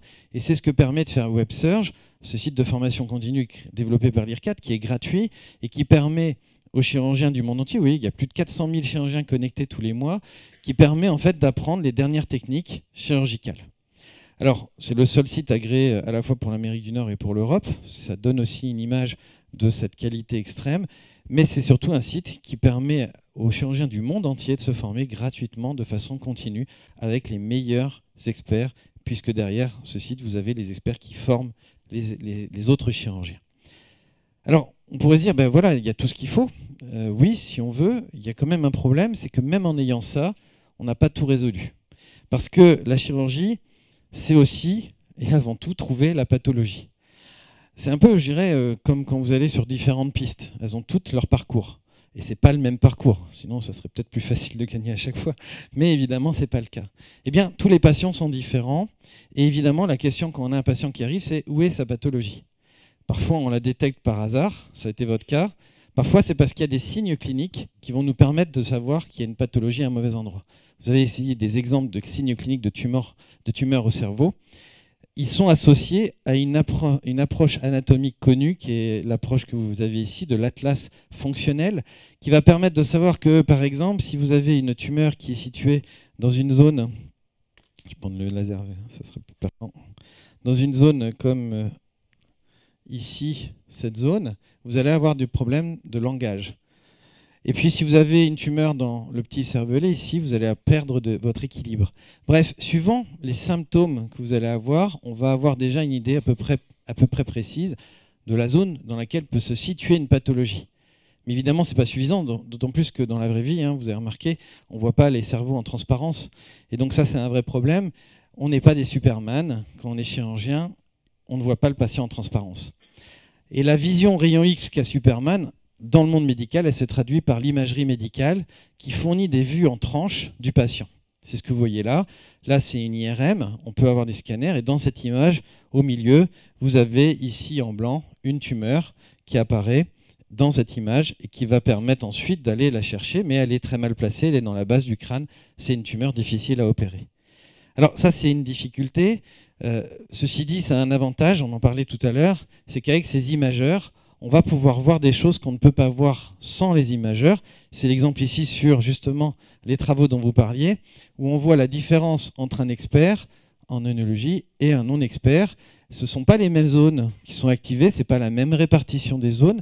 Ce qui veut dire qu'avec ce type d'appareil, on voit des choses extrêmement précises et même des choses hallucinantes. On peut repérer des sentiments, des pensées, euh, évidemment pas dans le détail de tout ce qu'on pense, mais on peut avoir des, informations très précises grâce à ces appareils. Et tout ça, ça a permis de développer donc ces atlas dont on parlait tout à l'heure. Ceci dit, vous voyez qu'il y a une différence entre les deux éléments. C'est que là, j'ai une image qui va être utilisée pour tout le monde et on est tous censés savoir ça, sauf qu'en la réalité, c'est qu'on n'est pas tous pareils. Et ça, c'est un vrai problème. Alors, les chirurgiens voudraient être des Superman. Et c'est pas possible de rendre tous les chirurgiens Superman, ça ferait beaucoup de travail en génétique. Mais il y a une bonne nouvelle, euh, c'est qu'on peut faire autre chose. Pourquoi il y a une bonne nouvelle? Parce que derrière, il y a un problème fondamental. L'image médicale que je viens de vous montrer est en niveau de gris. Et notre cerveau et nos yeux ne sont pas faits pour voir ces images. Je vous donne un exemple ici très parlant. Vous voyez ici, on a deux cases, A et B. Votre cerveau va immédiatement analyser l'environnement. C'est-à-dire qu'avec votre connaissance a priori, ce que vous avez emmagasiné comme connaissance, vous reconnaissez immédiatement un échiquier. Et dans votre cerveau, ce qui se passe, c'est ah ben y a un échiquier, avec des cases blanches et noires. Même si c'est pas noir, c'est gris, c'est pareil. Et donc forcément, les cases blanches sont plus claires que les cases grises foncées. Et comme la case B, c'est une, des cases blanches, la case B est forcément plus claire que la case A. Maintenant, on va juste retirer ces deux cases et on va les mettre sur le fond blanc. C'est-à-dire sur un fond où il n'y a plus cette connaissance a priori de l'échiquier. Et quand on va regarder ça, on va se rendre compte que la case B est plus foncée que la case A. Alors vous allez me dire, euh, non, euh, j'ai triché. Là, oui, bien sûr, elle est plus foncée. D'ailleurs, pour l'ordinateur, c'est simple, il a une valeur. Mais ça, là, ce niveau de gris et celui-là, c'est pas le même. Alors, je vais les relier physiquement par un rectangle de densité unique. Et là, vous allez me dire, mais il y a un dégradé. Non, il y a un dégradé que vous percevez, mais qui n'existe absolument pas. C'est une illusion d'optique. Pour vous en rendre compte, c'est très simple. Il suffit d'enlever le damier. Et vous verrez qu'en en fait, il n'y a pas de dégradé. Ça, c'est la limite de nos perceptions. Et elle est associée, vous avez compris, à nos connaissances. C'est-à-dire que c'est ma connaissance du damier qui va entraîner une erreur, alors que mon œil arrive à distinguer que le B est plus foncé que le A, mais mon cerveau ne l'accepte pas. Et il va m'entraîner dans une erreur. Et ça, c'est ce qui se passe quand on apprend l'anatomie générale, où on nous apprend une anatomie unique, alors qu'en réalité, elle est variable. Et parfois, je vais me tromper parce que je suis persuadé que ça doit être comme ça, parce que normalement, c'est comme ça. Sauf qu'en réalité, c'est pas comme ça. Et ça, c'est la difficulté de se battre contre notre propre savoir. Il faut accepter de se remettre en cause en permanence, et c'est parfois très difficile. Donc ça, c'est un des problèmes majeurs. Le deuxième problème, c'est que les images médicales sont en tranches. Et vous le savez, hein, en général, les patients, ils n'arrivent pas à découper en tranches sur la table. Et donc, ça pose un vrai problème parce qu'on n'est pas fait pour voir ces images en tranches. Je vous donne un exemple ici avec une œuvre de Michael, euh, je ne sais plus comment, j'ai oublié son nom. Euh, et, et, vous voyez, en fait, le principe, c'est que c'est une œuvre d'art composée d'éléments en tranches. Mais pour comprendre cette œuvre d'art, il faut être dans un seul axe qui va permettre de voir. Eh bien, c'est exactement ce qui se passe avec les images médicales. On a des tranches, mais on ne les a pas reconstruites. On les a les unes à côté des autres. Et notre cerveau, il a du mal à reconstruire en trois dimensions l'information qui est pourtant présente, et comme vous le voyez ici, qui représente vraiment quelque chose. Ça, c'est la deuxième limite des images médicales. Et donc, comme je vous disais, on ne peut pas être des Superman, mais on peut être des Iron Man. Et ça, c'est la bonne nouvelle, parce que Iron Man, c'est un super-héros qui a beaucoup d'avantages. D'abord, on peut le dupliquer. Il suffit de mettre l'armure. Et le deuxième avantage, c'est qu'à l'intérieur de ce système, il a un, ordinateur qui va traiter l'information en temps réel, une information que l'humain n'arrive pas forcément à bien percevoir. Euh, je ne sais pas si j'ai encore le micro, je ne sais pas si vous m'entendez bien. Et, comme vous le voyez, l'information qui, une fois est traitée par l'ordinateur, va être restituée dans un mode que l'utilisateur va pouvoir comprendre. On ne va pas lui restituer une information au niveau de riz en niveau de riz, sinon il aura à nouveau du mal. On va lui restituer de façon simple et intelligible. Eh bien, faire un Ironman, c'est possible en médecine. Regardez cette image, c'est une image de cerveau. Ce que va faire l'intelligence artificielle, c'est qu'elle va détecter dans l'image la pathologie ici en vert, ou les artères en rouge, ou le cervelet en blanc. Et ensuite, elle va reconstruire en trois dimensions l'information pour que ça soit plus facile à comprendre. Et ça, c'est ce qu'on a développé pendant 15 années au sein de cet institut, au sein de l'IRCAD, avant de créer Visible Patient, pour fournir ce service au plus grand nombre. Voilà comment ça fonctionne. L'image nous est envoyée par le médecin, par un système sécurisé qui protège les données, avec le consentement du patient, bien sûr. Tout ça, ensuite, ça arrive à notre laboratoire d'analyse, Visible Patient.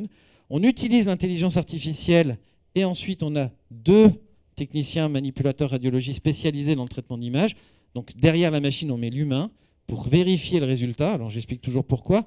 Euh, tout simplement parce que l'humain, on n'est pas doué pour tout, hein, bien sûr, mais alors il y a un truc pour lequel on est super fort, c'est pour trouver l'erreur de son voisin. Ça, on est super doué pour ça. Et donc du coup, quand vous mettez un double check, ben, le premier humain, il va vérifier l'erreur de la machine, il va être très fort pour ça, et le deuxième, il va vérifier l'erreur du premier humain, et il va être très fort pour ça aussi. À la fin, vous avez quasiment plus aucune erreur, voire aucune erreur, c'est plutôt ce qu'on constate, et ça me permet de rendre l'image, cette fois-ci en trois dimensions du patient. Image qui va pouvoir être lue sur de simples PC, sur votre tablette, sur votre smartphone. Et ensuite, on va pouvoir faire ça pour n'importe quelle partie du corps humain. Qu'est-ce que ça change concrètement? Est-ce que ça change? On l'a vu pour le cerveau, ça permet de voir en 3D. Mais je vais vous montrer deux exemples uniquement, parce qu'on n'a pas assez de temps pour plus. Le premier, c'est cet exemple du foie qu'on teste depuis octobre 2017 dans tous les cours de chirurgie hépatique. Il y a plus de 800 chirurgiens qui ont voté sur ce cas. Il n'y en a pas un seul qui ne soit pas trompé. Tous, sans exception, les meilleurs experts sont tous convaincus d'une chose, les deux tumeurs sont à droite parce que les repères anatomiques nous disent qu'ils sont à droite. Sauf que lorsqu'on simule avec le logiciel la pose d'un clip chirurgical qui va montrer en orange le foie droit, on se rend compte qu'aucune des deux tumeurs n'est dans cette partie orange, donc aucune des deux tumeurs n'est dans le foie droit. Et quand on va simuler la pose d'un clip chirurgical sur la branche gauche, c'est-à-dire voir le foie gauche en bleu ici, eh bien on se rend compte que les deux tumeurs étaient à gauche. On aurait suivi la normale anatomique, eh bien, on aurait coupé le mauvais morceau de foie. Mais avec le système, évidemment, on ne se trompe pas. Premier exemple, ça arrive ce genre de variation de l'acte opératoire, ça arrive dans un tiers des cas sur les opérations du foie, parce que c'est malheureusement un organe qui a énormément de variations anatomiques. Deuxième exemple, avec cet enfant de 5 ans qui était diagnostiqué avec deux tumeurs dans les reins. Sans le logiciel, le choix thérapeutique fait par deux équipes distinctes était le même, retirer la moitié du foie droit, retirer la totalité du rein, droit, retirer la totalité du rein gauche et attendre six mois de dialyse avant de réaliser, si possible, une transplantation. Si possible, parce que ce n'est pas toujours possible. Vous voyez qu'avec le simulateur, là encore, grâce à la copie virtuelle du patient, on a simulé la découpe à droite qui était possible, mais on découvre qu'à gauche, on peut aussi conserver une partie du rein et que la somme des deux volumes est supérieure à la somme du volume d'un seul rein par rapport à la taille et au poids de cet enfant. Résultat, cet enfant est opéré en janvier 2018. En février, il a repris l'école. Aujourd'hui, il a, il a 7 ans, il est en parfaite santé. Et vous ne pourriez pas imaginer qu'il a pu avoir ça comme pathologie dans le passé. Voilà des exemples, j'en ai pris que deux. On en a tous les jours, des exemples comme ça. Il y avait un cas ce matin où on a un changement radical de l'opération à nouveau. C'est très très fréquent. Tout simplement parce qu'on ne peut pas, en voyant ces images, tout comprendre. On a des limites humaines. Alors, ces limites humaines qu'on peut dépasser, elles sont fréquentes, vous l'avez compris, mais surtout aujourd'hui, elles sont prises en charge par des assurances. Et je profite de l'occasion que vous soyez devant moi pour vous dire, à votre niveau, si vous avez les moyens de faire passer à vos assureurs au-dessus de vous, à vos mutuelles, l'importance que ça a de prendre en charge ce genre de mobilisation, n'hésitez pas à le faire.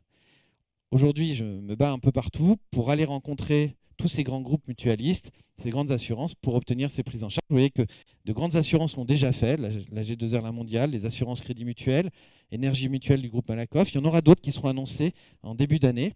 Et ces grandes assurances, il faut qu'elles soient complétées par les autres. Il faut que tout le monde suive sur ce chemin parce que c'est essentiel de proposer ce type de modèle au plus grand nombre. Alors, ces modélisations, on peut les utiliser avant l'opération, mais on peut aussi les utiliser pendant l'opération, ce que vous voyez ici avec la tablette, et on peut les utiliser en combinaison du robot. Et là, on est un peu comme un pilote dans sa voiture, avec l'affichage tête haute, il a l'écran tactile à côté. Qu'est-ce qu'il voit dans la partie haute? Il voit évidemment l'intérieur du patient, ici, et dans la partie basse, il a la cartographie qui apparaît en 3D.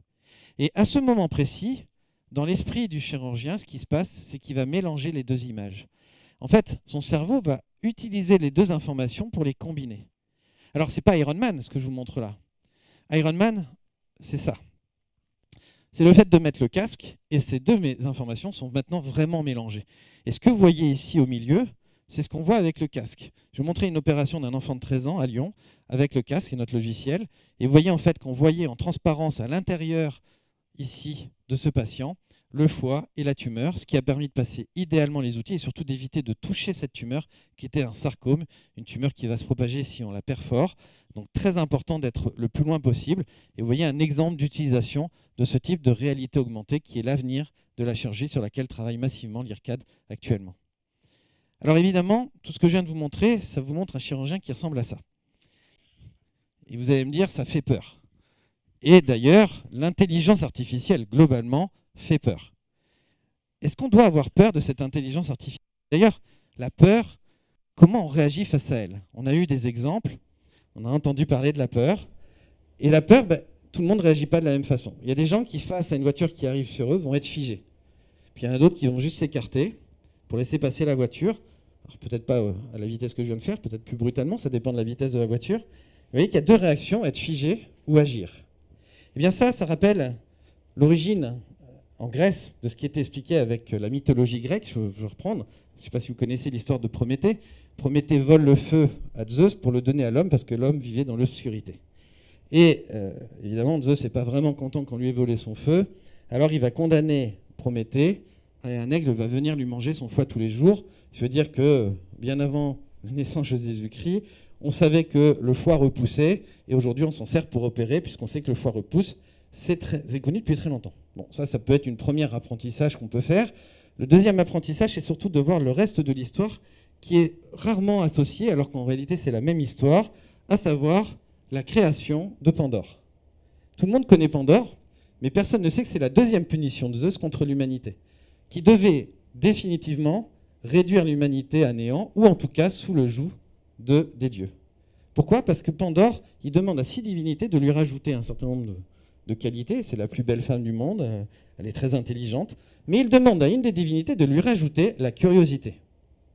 C'est pas sympa, parce que juste derrière, il lui offre un cadeau, la fameuse boîte de Pandore, qui était une jarre, bien sûr, et dedans, il y met tous les maux de la terre. Pandore ouvre la jarre par curiosité, et en sortent la mort, la maladie. C'est les deux seuls qui sont annoncés, mais il y en a d'autres. Et heureusement, elle referme la jarre, elle reste pas figée face à la peur, elle referme la jarre avant que le dernier mal en sorte. Ce dernier mal, il s'appelle Elpis. Ça a été traduit par espoir, mais en réalité, ça veut dire, dans le texte littéraire, attendre sans agir. Et on voit bien que si Elpis était sorti en premier, on serait plus là, en fait. Parce qu'elle aurait attendu sans agir. Mais comme elle a pu agir, elle a pu refermer la jarre. Est-ce que l'intelligence artificielle, c'est ouvrir la boîte de Pandore? On peut se poser la question. Parce que si on donne à un robot tous les pouvoirs, si on permet finalement à un système d'être totalement autonome avec de l'intelligence artificielle, on n'aura plus besoin de rien faire. On sera malade, la machine va dire où je suis malade, le robot va m'opérer. Est-ce qu'on a encore besoin de chirurgien C'est très discutable. On pourrait tout imaginer en automatique, finalement. Et donc on sera à attendre sans agir, comme l'humain pouvait être à attendre sans agir devant les dieux qui étaient finalement totalement maîtres de leur destin. Maintenant, si cette intelligence artificielle, on les met entre les mains de l'humain, eh bien là, on revient un petit peu en arrière dans l'histoire, on revient à Prométhée qui donne le feu à l'homme. Le feu, c'est dangereux. On peut se brûler avec le feu. Et puis le feu, il y aura des pyromanes, c'est-à-dire qu'il y a des gens qui vont euh, s'amuser à mettre le feu. Mais si on le domestique, eh bien l'humanité devient ce qu'elle est aujourd'hui. C'est-à-dire que l'on peut exploiter ce feu pour progresser. L'intelligence artificielle, c'est la même chose. Si on la domestique, ça deviendra quelque chose qui permettra de faire grandir l'humanité. Faire grandir l'humanité, ça veut dire sauver des vies. Ça veut dire permettre à ces patients de recroquer la vie à pleines dents. Alors, la peur, bien sûr, on peut rester figé devant. Mais le mieux, face aux difficultés, face aux risques, c'est d'agir. Et donc, Vivre, c'est prendre des risques. L'intelligence, c'est de les maîtriser pour le bien de l'humanité. Merci pour votre attention.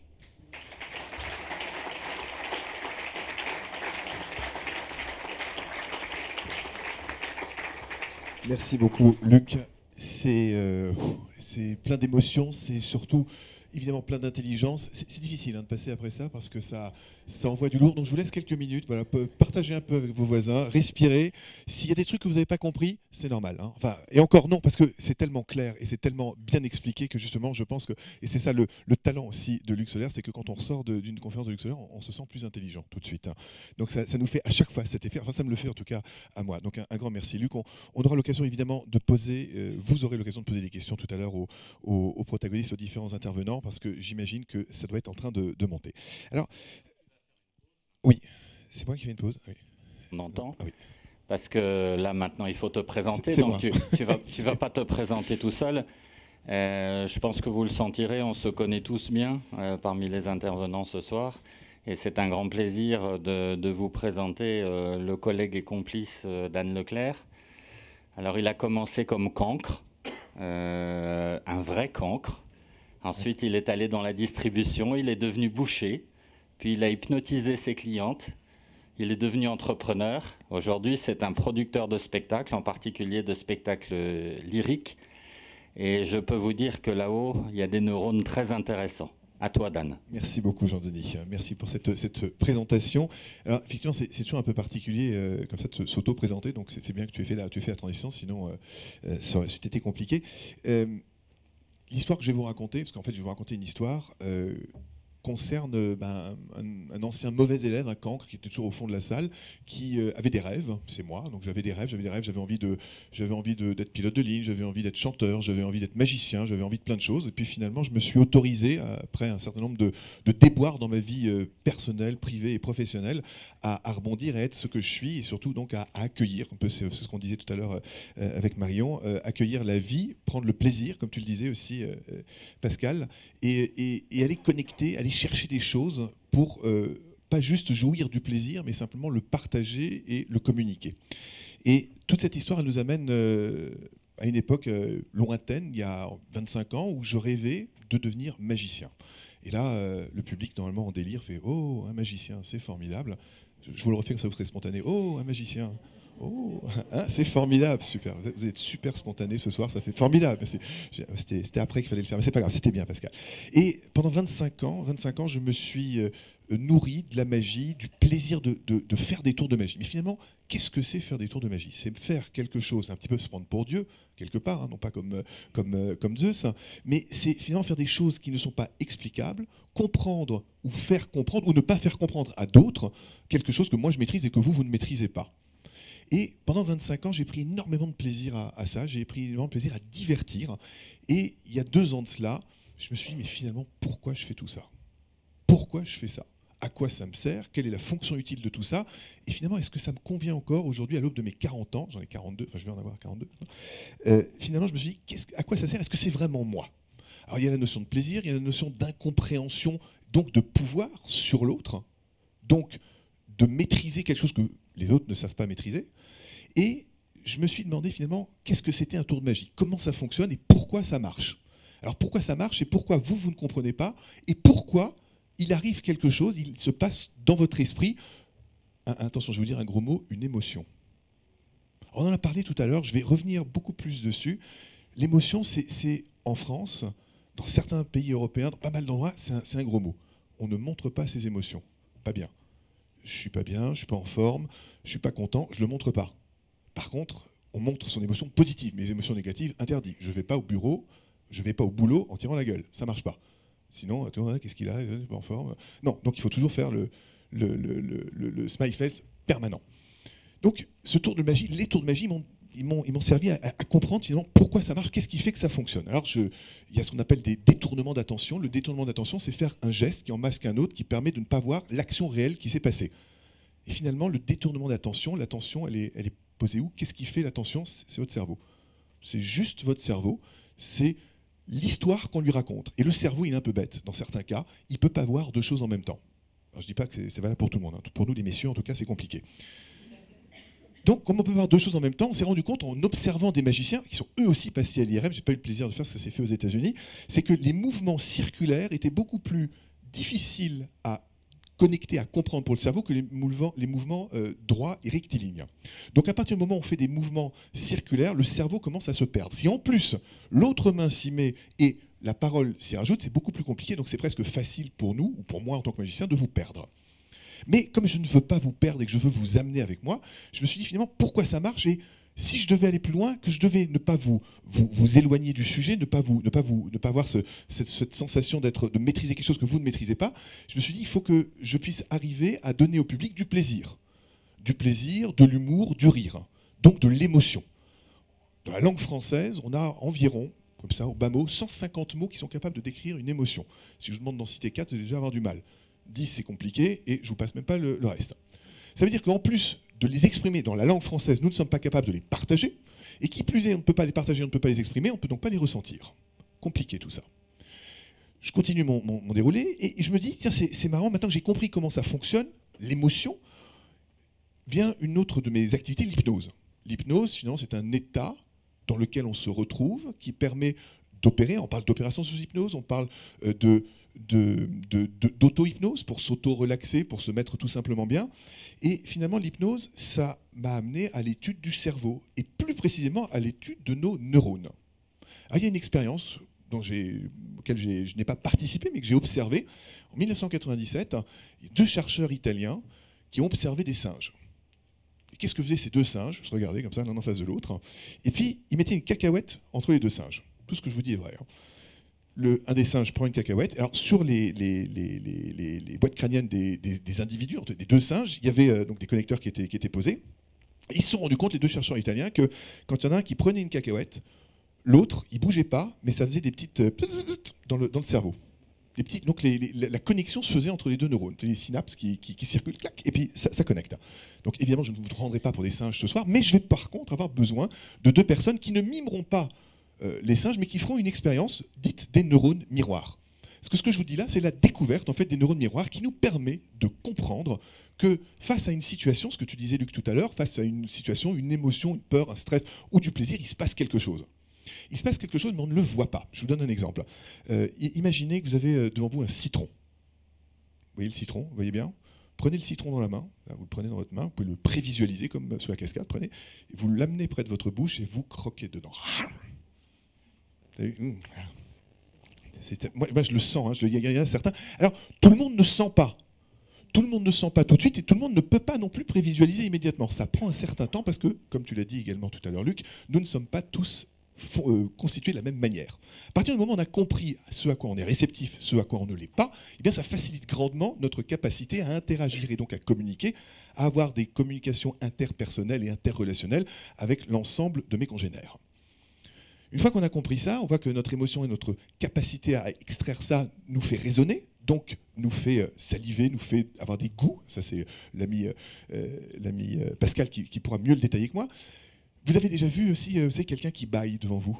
C'est déjà arrivé, hein? Et qu'est-ce qu'on dit? Un bon bailleur, c'est faire bailler 7 euh, ou 10 personnes. Il suffit de juste de l'évoquer qu'on a même déjà envie de bailler, non pas parce que le propos, j'espère, n'est pas ennuyeux, mais simplement parce que notre capacité à l'extrapoler et simplement nous amène à cette extrapolation du neurone miroir. Quand on le voit, c'est encore pire. Je voudrais vous en faire la démonstration. J'aurais besoin pour cela de la participation proactive de deux personnes. Euh, est-ce qu'il y a des gens qui, deux personnes qui ne se connaissent pas de préférence et qui voudraient participer à cette expérience? Je vois que le public est, spontané et nombreux. Monsieur et mademoiselle, vous voulez bien venir avec moi? Merci. Alors, quel est votre prénom? Fanny? Fanny, très bien. Fanny, Fanny, vous allez vous mettre à ma droite, juste ici. Bonjour Fanny, bienvenue. Et monsieur Nathan, Nathan et Fanny, très bien. Alors, je voudrais juste que vous vous mettiez l'un en face de l'autre, comme ça. Voilà, super. Et Fanny, quand je vais vous l'indiquer, vous allez faire une jolie grimace à Nathan. Ok? Voilà, donc vous allez, allez-y, à 3. 1, 2, 3, allez-y. Ok, voilà, encore, encore une fois? Vous avez vu ce qui se passe? Est-ce que vous avez entendu ce qui s'est passé dans la salle à la première fois? J'ai demandé de faire un truc potentiellement marrant, ou, pas d'ailleurs, ça, ça dépend. Et euh, Fanny a fait, le, a fait le, geste, et chez Nathan, qui a qui est tenté de rester euh, impassible, il s'est tourné vers moi, pas la tête, hein, mais juste les yeux, il a dit, euh, il, m'a envoyé un signal visuel. C'est quasi imperceptible, hein, vous confirmez que vous êtes tourné vers moi, vous avez regardé. Et vous, dans la salle, qu'est-ce qui s'est passé? Vous avez vous avez souri, vous avez ri, il s'est passé quelque chose. Cela me donne donc une information importante, c'est votre niveau de réceptivité et surtout le niveau de réceptivité de Nathan. Ce qui vient de se passer, c'est l'exact euh, reflet de la cacahuète qui était entre les deux singes. C'est donc une opération de neurones miroir. Ça veut dire aussi, je reprendrai aussi, euh, tu n'en as pas parlé Luc, mais j'en parle pour toi, les bébés. J'adore observer les bébés. La première chose que l'on fait quand un bébé naît, qu'est-ce qu'on fait? On regarde sa couleur. Il rosit, c'est le signe qui permet de dire le bébé est en bonne santé. Il crie et il rosit.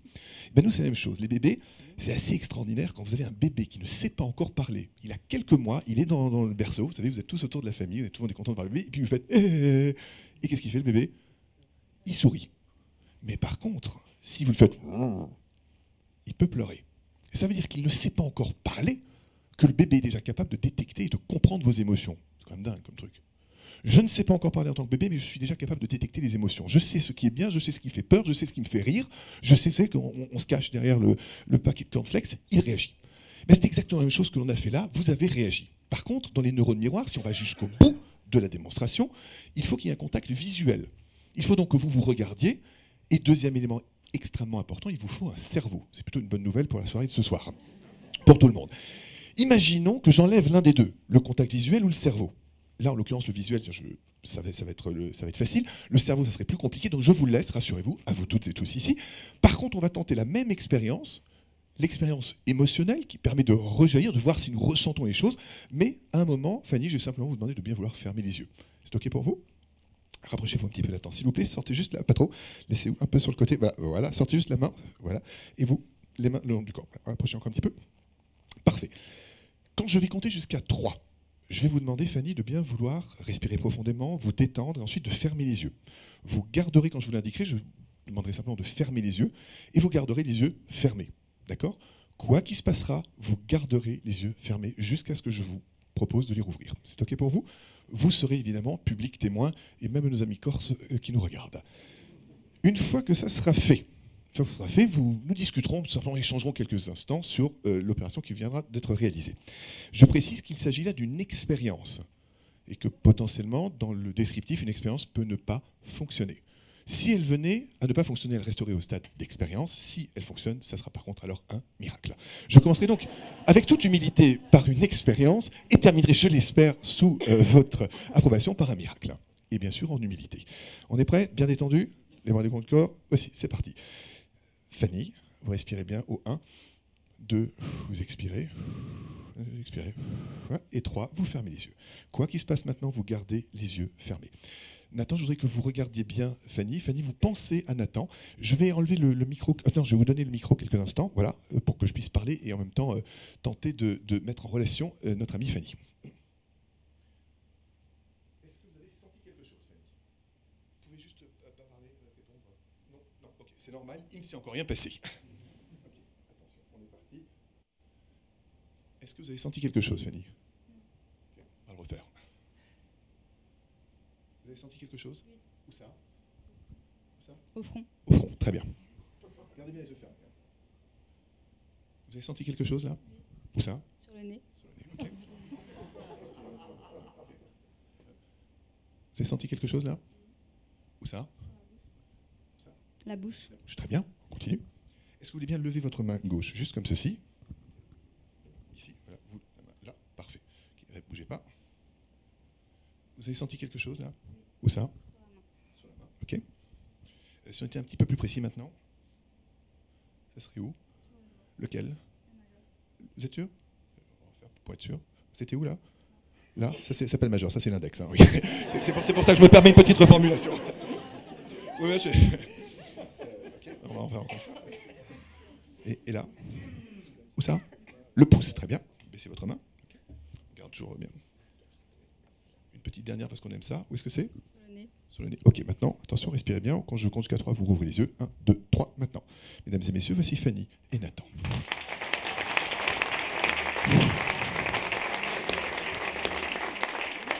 Alors, je, précise que nous ne nous connaissons pas, parce que c'est important, parce que sinon, dans la salle, j'entends déjà se dire oui, mais ils connaissent, ils ont vu. Non, absolument pas.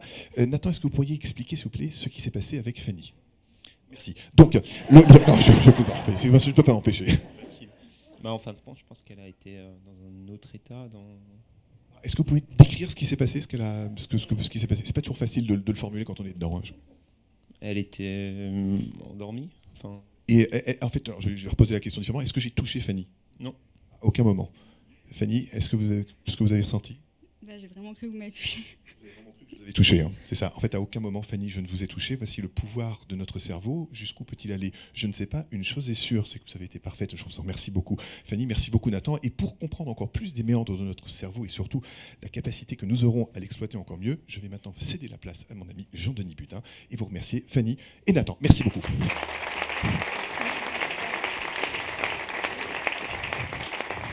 Jean-Denis, c'est à toi.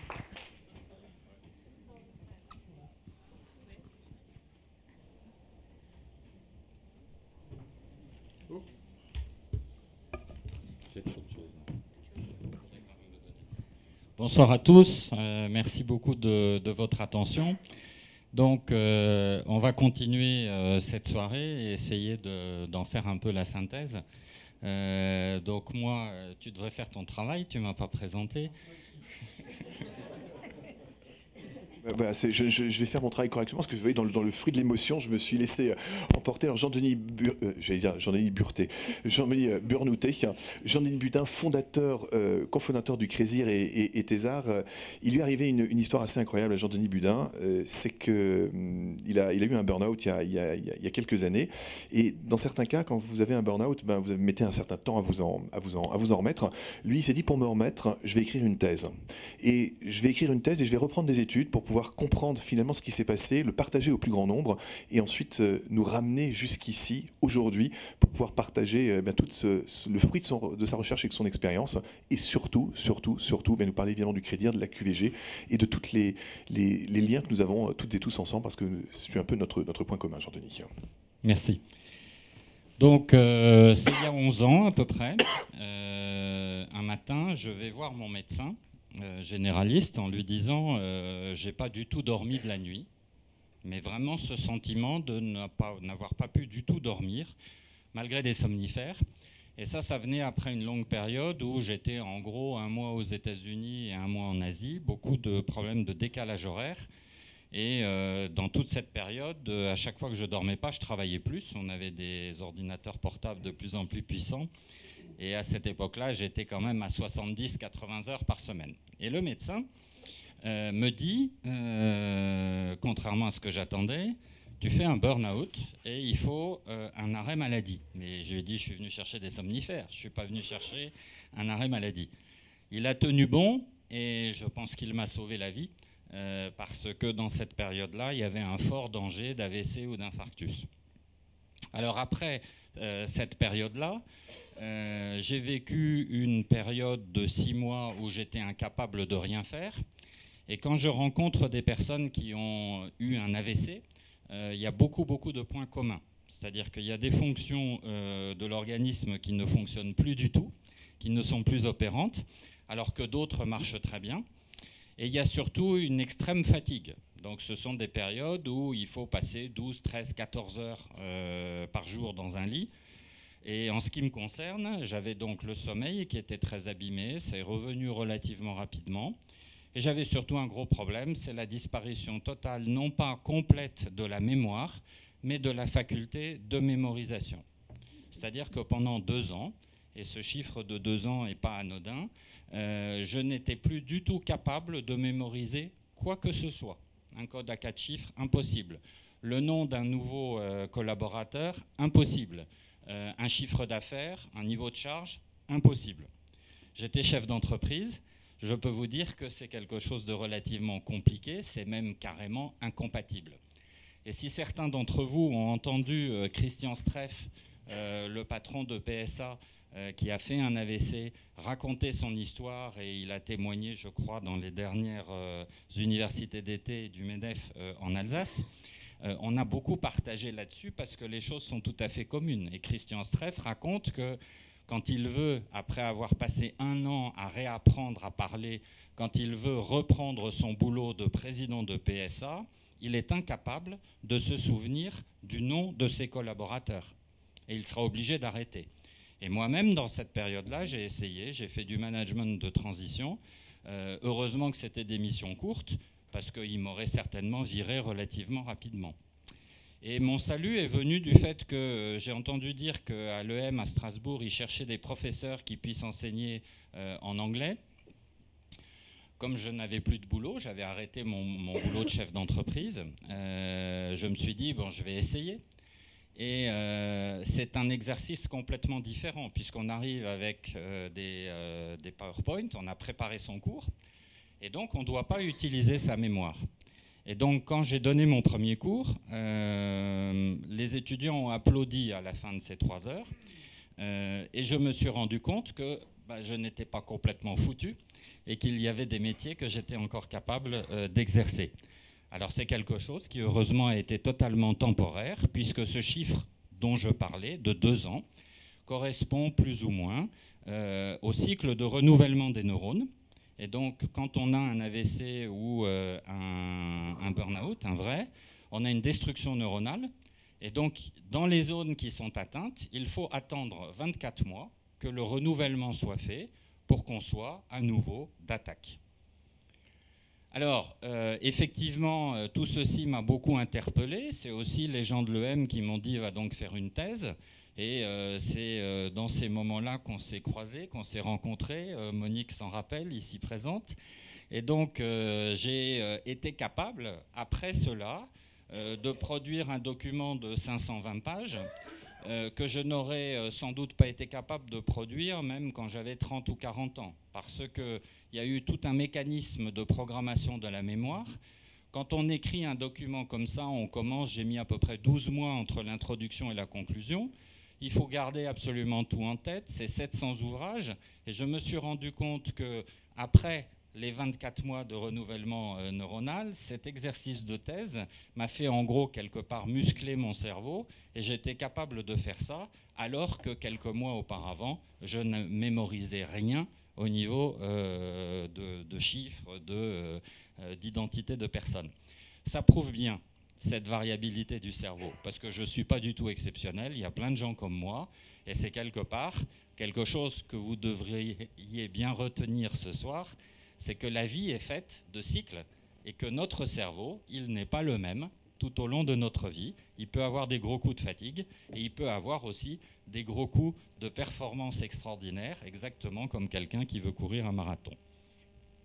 Alors, Sept ans après, ben, on a effectivement, comme ça a été dit au départ, euh, créé ce centre euh, où on accueille euh, des personnes pour les entraîner, des professionnels de l'entreprise. on a dit au départ des, dirigeants d'entreprise, mais maintenant c'est des médecins, des avocats, des journalistes. et on a eu la possibilité, si vous voulez, de faire travailler une équipe de recherche euh, qui a cartographié un petit peu les catégories des personnes. On a 40 000 pages de transcription d'entretien. Et c'est ça qui a permis de faire naître une pédagogie, euh, qui est une pédagogie d'intervention vis-à-vis des personnes qui sont pas bien, mais c'est également une pédagogie de prévention. Et euh, ce concept de la qualité de vie globale, c'est ce qui dicte un tout petit peu nos interventions en entreprise pour aider les personnes à éviter de s'effondrer. Alors, euh, au terme un petit peu de cette, euh, soirée, euh, on a pensé qu'il serait utile que vous gardiez peut-être peut-être cinq points sur le fonctionnement du cerveau. Parce que ces cinq points, ils ont été illustrés par les témoins de ce soir. Donc la variabilité du cerveau, c'est certainement un des éléments les plus importants c'est moi qui ai euh, écrit cette euh, diapo. C'est pas parce que c'est mon cas qui l'illustre que je l'ai mis en premier. C'est parce que c'est vraiment quelque chose qui euh, fait défaut dans l'éducation que nous recevons. Qui a entendu pendant ses études des gens lui expliquer qu'on ne serait pas toujours Superman et qu'on aurait dans notre vie des moments où malheureusement on serait handicapé du cerveau par des maladies, euh, par des périodes un tout petit peu difficiles, euh, mais ça peut être des maladies comme l'apnée du sommeil, comme des problèmes de thyroïde. Arrêtons de nous dire que notre cerveau est toujours le même. Deuxième point, il est programmable. Et donc, euh, là, on peut faire évidemment allusion à l'exemple de Marion. Marion nous a raconté dans le détail, avec émotion, comment elle a programmé son cerveau pour que le jour dit, ça se passe bien. Et d'une certaine manière, ce que fait Luc, c'est aussi aider euh, des chirurgiens à programmer leur cerveau pour être plus précis. Et ça fait longtemps qu'on programme le cerveau des pilotes dans des simulateurs. On nous a programmé notre cerveau à l'école, malheureusement, sur certaines choses, et notamment ces difficultés de la vie, on ne l'a pas suffisamment bien programmé. Troisième point, il est réparable. Et là, évidemment, c'est Pascal qui est un exemple absolument formidable pour nous, parce que dans son témoignage, euh, il y a quand même énormément d'émotions et d'admiration que nous pouvons avoir par rapport au fait qu'avec ses idées positives, il est allé à cette opération avec confiance. Vous vous rendez compte qu'il a mis entre les mains euh, d'un chirurgien tout son métier il pouvait sortir de cette opération en ayant perdu son métier. Et donc, ce que fait la médecine est formidable. Et si à un moment donné, on a des problèmes dans notre cerveau, n'ayons pas peur, ayons moins peur. C'est quelque chose qui peut être réparé. Alors, il est contrôlable. Ça, c'est un petit peu plus compliqué parce que euh, malheureusement, il nous a été livré sans, sans panneau de contrôle. Je prends souvent cet exemple. Si vous avez dormi euh, trois heures de moins que d'habitude la nuit d'avant, euh, ça serait quand même bien d'avoir des indications sur le fonctionnement de notre cerveau la journée d'après. Malheureusement, on n'a ni panneau de contrôle, ni mode d'emploi. Ça veut dire qu'on est démuni par rapport à ça. Et pour ceux qui ont vécu euh, des périodes de, par exemple, de, de travail avec des nouveau-nés qui ne dorment pas, eh bien, ça a été quand même extrêmement compliqué. Et pas uniquement pour vous, mesdames, mais aussi pour des hommes. Et on a eu, nous, des hommes en burn-out au crédit à cause de ça. Une dette de sommeil absolument considérable en continuant à travailler normalement. Donc, comment est-ce que on peut le contrôler? Il n'a pas de nerfs, il n'a pas de panneau de contrôle. La seule solution, c'est pour ça que vous avez cette image, c'est un deuxième cerveau. Et c'est avoir la capacité, tout au long de notre vie, d'avoir quelqu'un à côté de nous, plutôt plusieurs personnes, qui soient des gens dans l'ensemble bienveillants, éventuellement professionnels, mais ça peut simplement être un copain, et se rendre compte et avoir la capacité et l'humilité de se dire, je traverse une période où mon cerveau n'est pas au top, et donc je vais utiliser non pas les neurones miroirs, mais les neurones de mon prochain, les neurones d'un père, pour vérifier si effectivement je ne fais pas de conneries. Et ça, c'est quelque chose qui peut tout à fait être utilisé, notamment dans la profession euh, des commissaires aux comptes ou sur des missions un tout petit peu compliquées. Il est évident que le travail en équipe va être une ressource extraordinaire pour éviter de faire des bêtises. Et le dernier point, c'est la maintenance. Et là, la maintenance euh, de ce cerveau, elle est tout à fait possible. Mais ça, c'est notre travail. Et il y a trois choses qui vont être hyper utiles pour en faire la maintenance. Premièrement, le sommeil. Deuxièmement, l'exercice physique, parce que l'exercice physique produit des neurotransmetteurs qui font du bien au cerveau. Et troisièmement, la convivialité. Et donc, la convivialité, c'est aussi démontrer qu'elle produit des neurotransmetteurs utiles au niveau du cerveau. Imaginez votre cerveau comme une belle plante verte. Vous aimez vos plantes, vous allez lui donner de la lumière, vous allez lui donner des nutriments. Eh bien, votre cerveau, c'est la même chose. Il faut vous en occuper. Et pas vivre comme malheureusement nous l'avons trop appris en se disant on a un ordinateur extraordinaire là-dedans, il est toujours pareil. Et ce soir, vous avez découvert à la fois les mystères, mais également les merveilles du cerveau. Et donc, euh, je conclurai, on ne va pas détailler trop euh, un petit peu toute la pédagogie, tout ce qu'on a développé au niveau du crédit. Je vous donnerai simplement l'image que vous avez là. Euh, on, on constate aujourd'hui qu'il y a de plus en plus de gens qui flanchent. Alors, ils peuvent flancher une fois dans leur vie, deux ou trois fois dans leur vie. Les raisons, ce n'est pas forcément que c'est de pire en pire dans les entreprises, c'est plus des phénomènes de diminution caractérisée du sommeil les professionnels au travail aujourd'hui dorment une heure à une heure et demie de moins qu'il y a 20 ans. C'est l'addiction numérique qui nous épuise. Récemment, allant chez Microsoft, euh, en venant de la gare du RERC, là, au bord de la Seine, près du périphérique, j'ai quand même compté 60% des gens qui marchaient avec un smartphone. Donc tout ce temps qui avant était un temps de repos de notre cerveau n'est plus un temps de repos. Donc on a un phénomène d'épuisement. Et ces phénomènes d'épuisement, ben, ils sont des foyers potentiels de burn-out, d'AVC, d'infarctus, de tentatives de suicide. Et j'ai tendance à dire que aujourd'hui, il faut qu'on installe des filets de sécurité un petit peu partout. Les trapézistes n'ont pas arrêté de faire des belles figures. Il ne faut surtout pas qu'en entreprise, on arrête de faire des belles figures, on arrête de rechercher euh, la performance. Mais il faut qu'on ait des filets parce qu'on peut se casser la figure. Et notre ONG, le Crédit, c'est une ONG, euh, a pour mission d'installer des filets de sécurité aussi bien dans les entreprises que dans la société civile, dans les universités, dans les clubs services. Et c'est ça notre mission. On est une centaine aujourd'hui. Euh, je salue euh, plusieurs intervenants et notamment je voudrais remercier beaucoup Christine qui cumule la CRCC avec le Crédit. Et vous dire simplement que, comme toute ONG, c'est bientôt Noël. Vous avez des petits bulletins là-bas. Si vous voulez aider euh, une ONG qui se bat pour éviter les catastrophes, aidez le crédit. Et en tout cas, la CRCC nous aide beaucoup. Un grand merci à vous.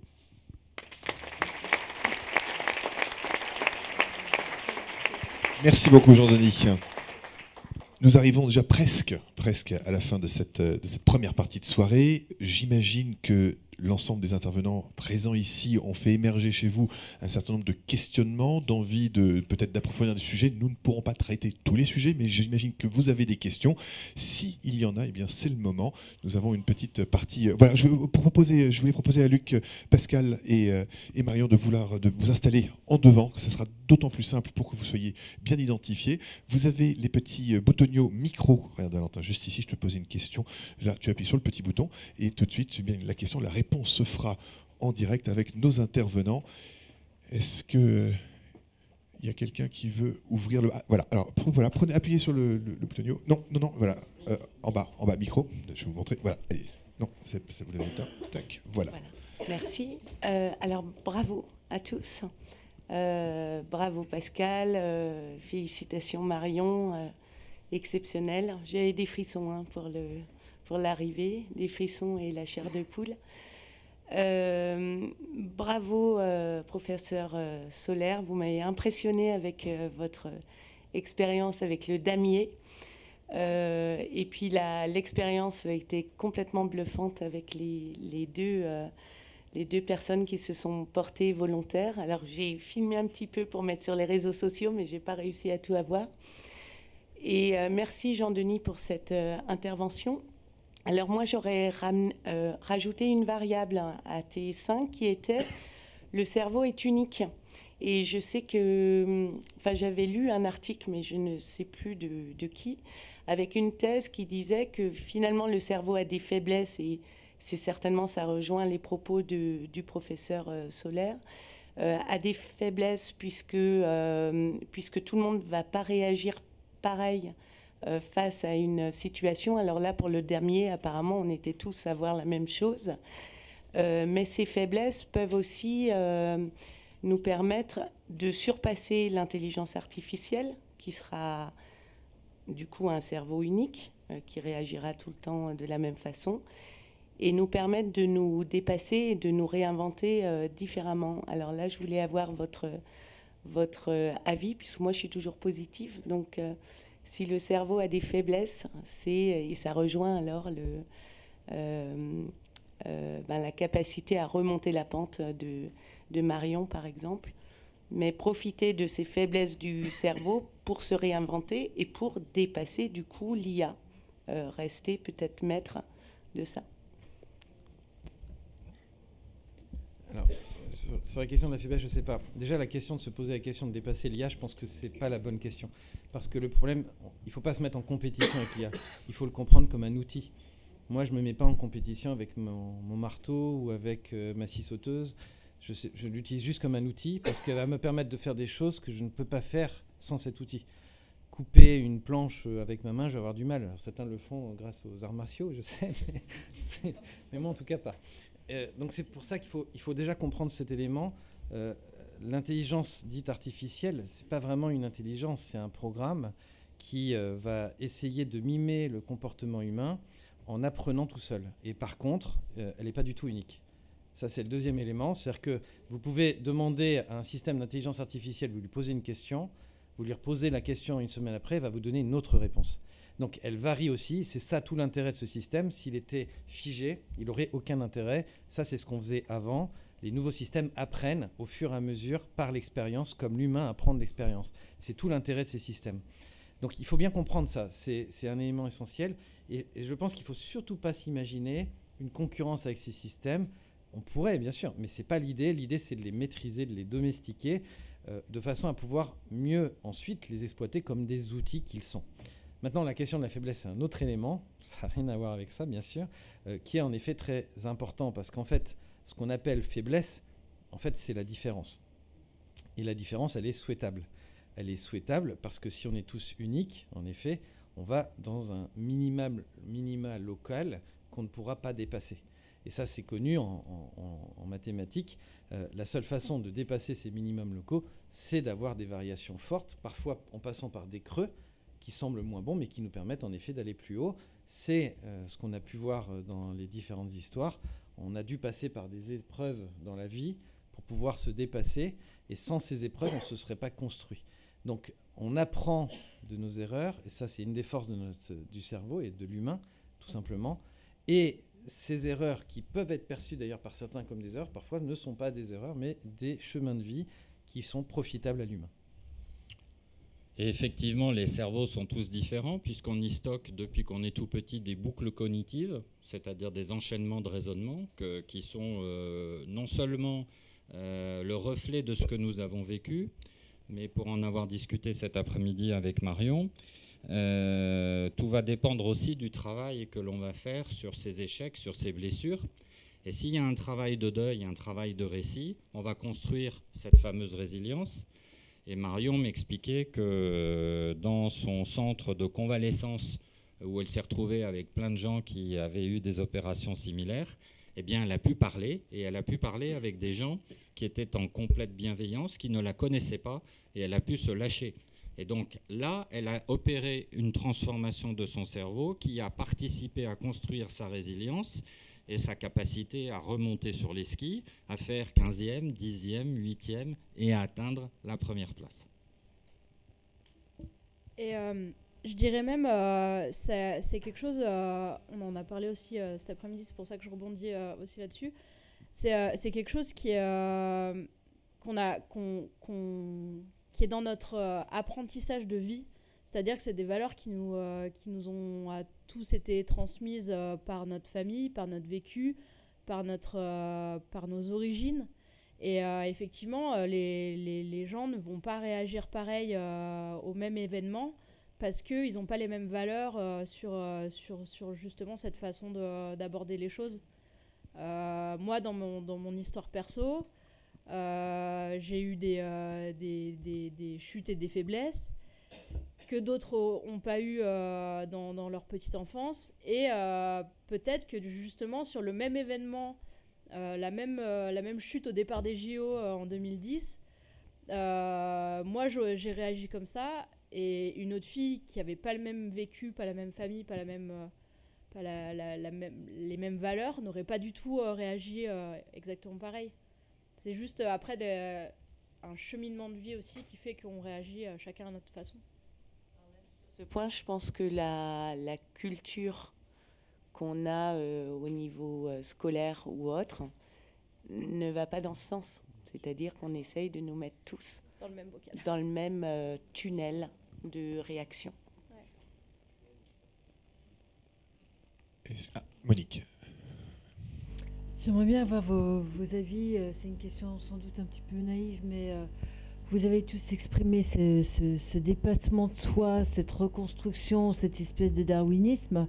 J'aimerais bien avoir votre avis sur euh, l'intelligence artificielle qu'évoquait Luc. Est-ce que ces machines auto-apprenantes pourraient à un moment donné faire preuve de darwinisme aussi. Et là, euh, où est-ce qu'il est l'ennemi à, surmonter? C'est bon, je pense que c'est pour Luc En fait, il y, a deux, il, y a, plusieurs formes hein, dans l'IA, euh, puisqu'en fait, il y a deux façons de reproduire. Euh, pour, reproduire, quand même, je vais revenir à la base. L'intelligence artificielle, à la base, c'est programmer un ordinateur pour mimer le, comportement humain, enfin plus que le comportement, la biologie humaine. À la base, c'était ça l'idée. Donc on a d'abord, d'un côté, fait des réseaux de neurones, c'était un des volets, et l'autre, ça a été les algogénétiques. Mais les deux, c'est de l'intelligence artificielle. Les algogénétiques, hein, vous comprenez le principe, vous prenez euh, ben, euh, des, lettres à qui vous allez assigner des, tâches, et ensuite vous allez croiser les résultats pour créer un nouveau système. On croise comme on croise des cellules. Eh bien, ces systèmes-là, si on prend les algogénétiques, ils ont une particularité, c'est que pour fonctionner, il faut rajouter de temps en temps eh bien, des changements venant de nulle part. Des variations génétiques qui viennent de nulle part, comme pour l'évolution. Donc quand on parle de darwinisme, on est avec les algorithmes génétiques dans le principe même de la reproduction du darwinisme, en prenant ce qui marche le mieux et surtout, surtout, en gardant ce qui marche le moins bien. Sinon, ça ne marche pas les algogénétiques. Si on ne garde que ce qui marche le mieux, on finit par un, maximum local et on n'arrivera pas à la, bonne solution. Donc, à, ta question, tu vois, en fait, en fait, à la base, certains algorithmes ont été développés pour ça. Donc, oui, c'est possible, puisqu'en fait, ça a été fait pour. La question que je sens derrière, qui est un petit peu plus c'est est-ce qu'un jour la machine va être capable de décider d'elle-même et de prendre son destin en main, finalement, potentiellement contre l'humain, parce que c'est un peu ce qu'on peut se poser comme question en l'occurrence un prédateur. C'est vrai que si on demande à la machine de résoudre, par exemple, les problèmes écologiques actuels sur la planète, peut-être qu'une des solutions, c'est d'enlever l'humain. Ça peut être une réponse. Euh, puisque l'humain, il est quand même cause de beaucoup de problèmes. C'est sûr que si on laisse à la machine cette capacité de décider de détruire l'humain, comme réponse possible, ça devient un vrai problème. Et toute la notion de peur que l'on voit aujourd'hui est liée au fait que si la machine pouvait potentiellement détruire l'humain, l'humain lui-même détruisant l'humain de temps en temps, parce qu'il pense que ça peut être rentable pour lui, on se dit, bah, il n'y a pas de raison qu'elle fasse pas pareil. En fait, on dit que la machine va finalement faire ce que nous-mêmes on fait. Et cette similitude, elle pourrait être possible si on ne met pas des verrous au système, D'où l'importance de domestiquer l'IA, ce que j'illustrais par, par ces images. C'est vraiment ça. Il faut domestiquer l'IA, c'est-à-dire interdire à ces systèmes d'avoir tous les pouvoirs. Et, personnellement, moi j'ai plus peur de la bêtise naturelle que de l'intelligence artificielle. Euh, vous avez quelqu'un qui habite à la Maison Blanche. Euh, quand il est arrivé et qu'ils lui ont fait les premières notes de briefing, ils se faisaient des documents sous Word avec deux trois pages, comme avec les autres présidents. Et puis ils ont vu qu'il lisait pas. Donc ils sont passés à PowerPoint. Et donc ils lui ont fait des PowerPoint. Et ils ont vu qu'il lisait pas. Et donc ils ont dit, ben, on va mettre qu'une diapo avec trois bullet points. Et ils ont vu qu'il lisait pas. Donc maintenant, c'est une diapo avec une seule idée. Cherchez l'erreur.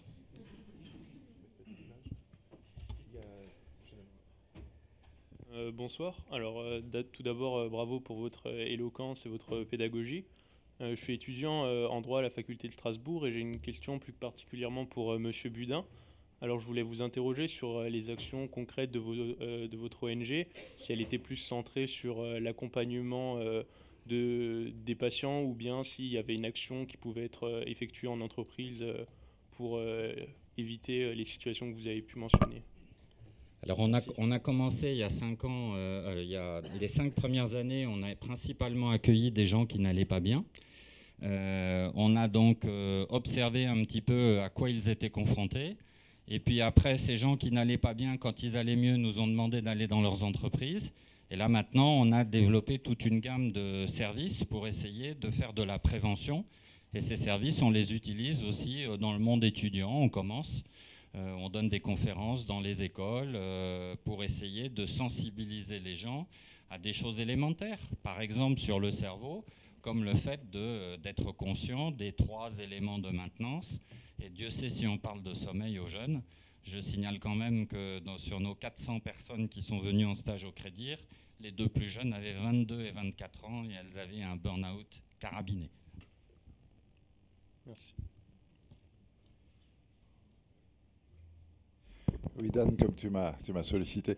Euh, merci à tous pour vos interventions. Je suis, je n'ai pas retenu votre, votre nom, mais c'est que votre prénom, Marion. je, suis, je suis désolé de ne pas avoir pu vous entendre, mais je le ferai par, je le ferai par vidéo.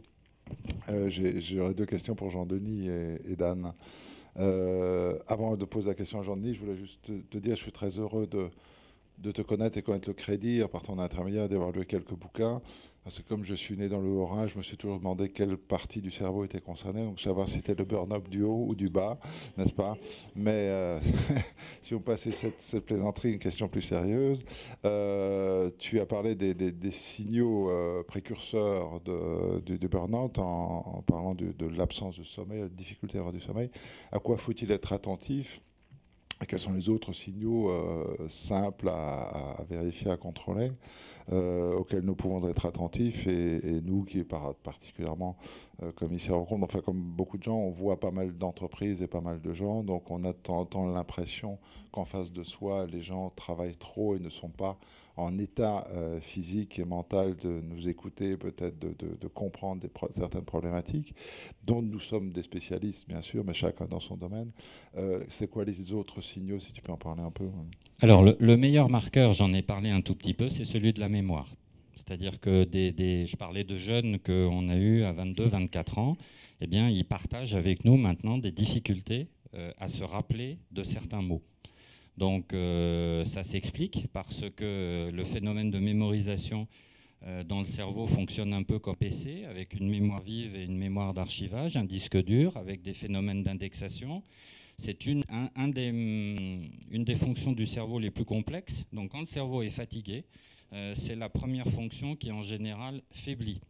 Et donc euh, pour euh, se détecter, en parler à vos clients, s'auto-détecter, déjà sentir de soi-même si on a des problèmes de mémoire. Moi je sais aujourd'hui que après une période où j'ai pas suffisamment dormi, des gros coups de bourre au niveau boulot, je cherche beaucoup plus mes mots que dans une période de vacances. Donc ça c'est très clair. Le sommeil, c'en est un autre. Ensuite, euh, bon, il y, a des choses euh, qui, sont liées un tout petit peu à la, relation avec les autres, une certaine tendance à s'isoler, une certaine tendance à ralentir sa délégation une certaine tendance à se, euh, à se mêler beaucoup trop des détails. Voilà, bon, il y en a beaucoup, mais voilà un certain nombre de choses qui sont des indicateurs.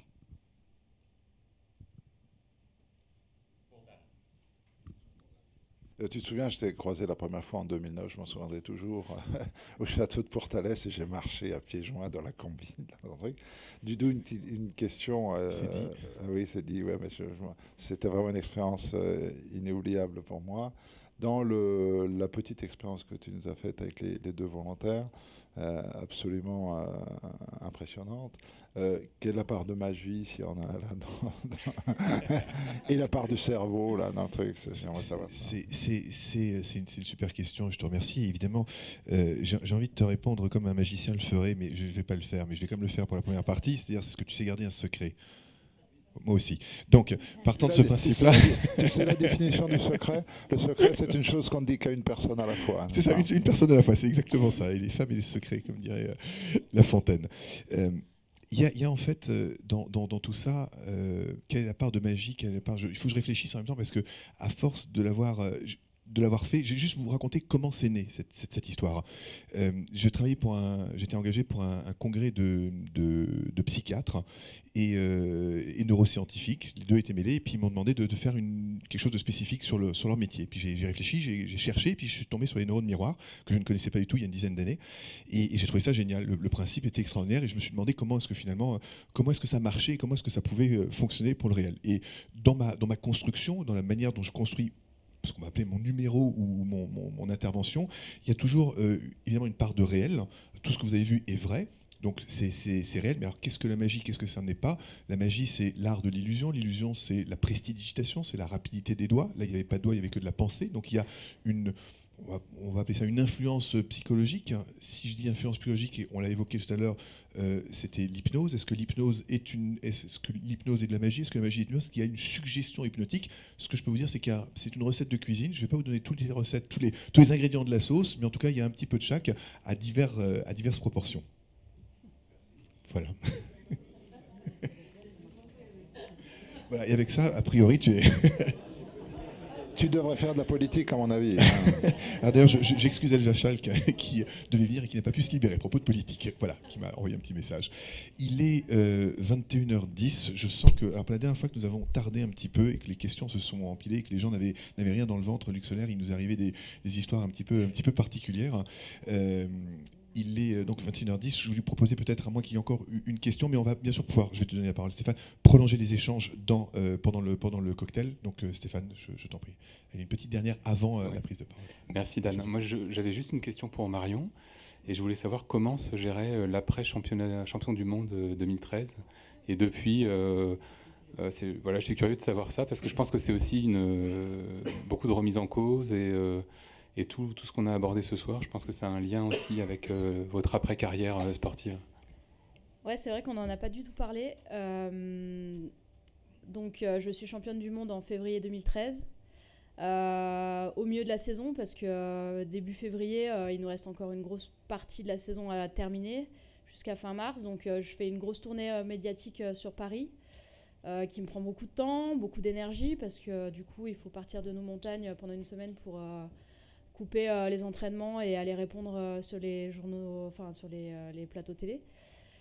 je retourne sur les, sur les Coupes du Monde le week-end d'après. Et donc je termine la saison plutôt bien, on va dire, avec deux titres de championne de France en, poche, une bonne, bonne fin de saison. encore un printemps un petit peu, un petit peu intensif, euh, j'essaye de me remettre euh, bien en préparation euh, pour la suite, parce que la suite, c'est les JO de Sochi en février 2014 qui suivent. Donc je, j'essaye de garder le même cap.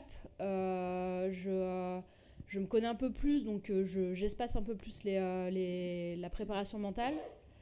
Ce qui a maintenant été, je pense, une, une petite faute, parce que j'aurais dû garder un peu plus de constance là-dessus. Et le autour du 15 septembre, je crois que c'était le 14 septembre 2013, euh, je me reblesse une troisième fois, donc là sur l'autre genou, euh, en stage au Chili. Euh, une nouvelle blessure, une nouvelle rupture du ligament croisé antérieur, plus le ligament interne, plus le ménisque, plus, plus le plateau tibial. Enfin, là, le, le gros coup vraiment, vraiment chaud. Donc, je me fais rapatrier. Je loupe bien sûr en septembre forcément la, saison des Jeux Olympiques. là, je mets pas six mois à remonter sur les skis, je mets neuf mois à remonter sur les skis parce que la, du coup, la, rééducation et, la et, et, toute la reprise, la réathlétisation a été vraiment très très compliquée. si vous me posez la question maintenant, j'aurais dû arrêter ma carrière à ce moment-là parce que, parce que ça a été beaucoup trop de sacrifices Enfin, ça a été tellement dur de, remonter sur les skis et de retrouver des sensations. J'ai eu beaucoup de douleurs. Enfin, ça a, été, euh, ça a été très très dur.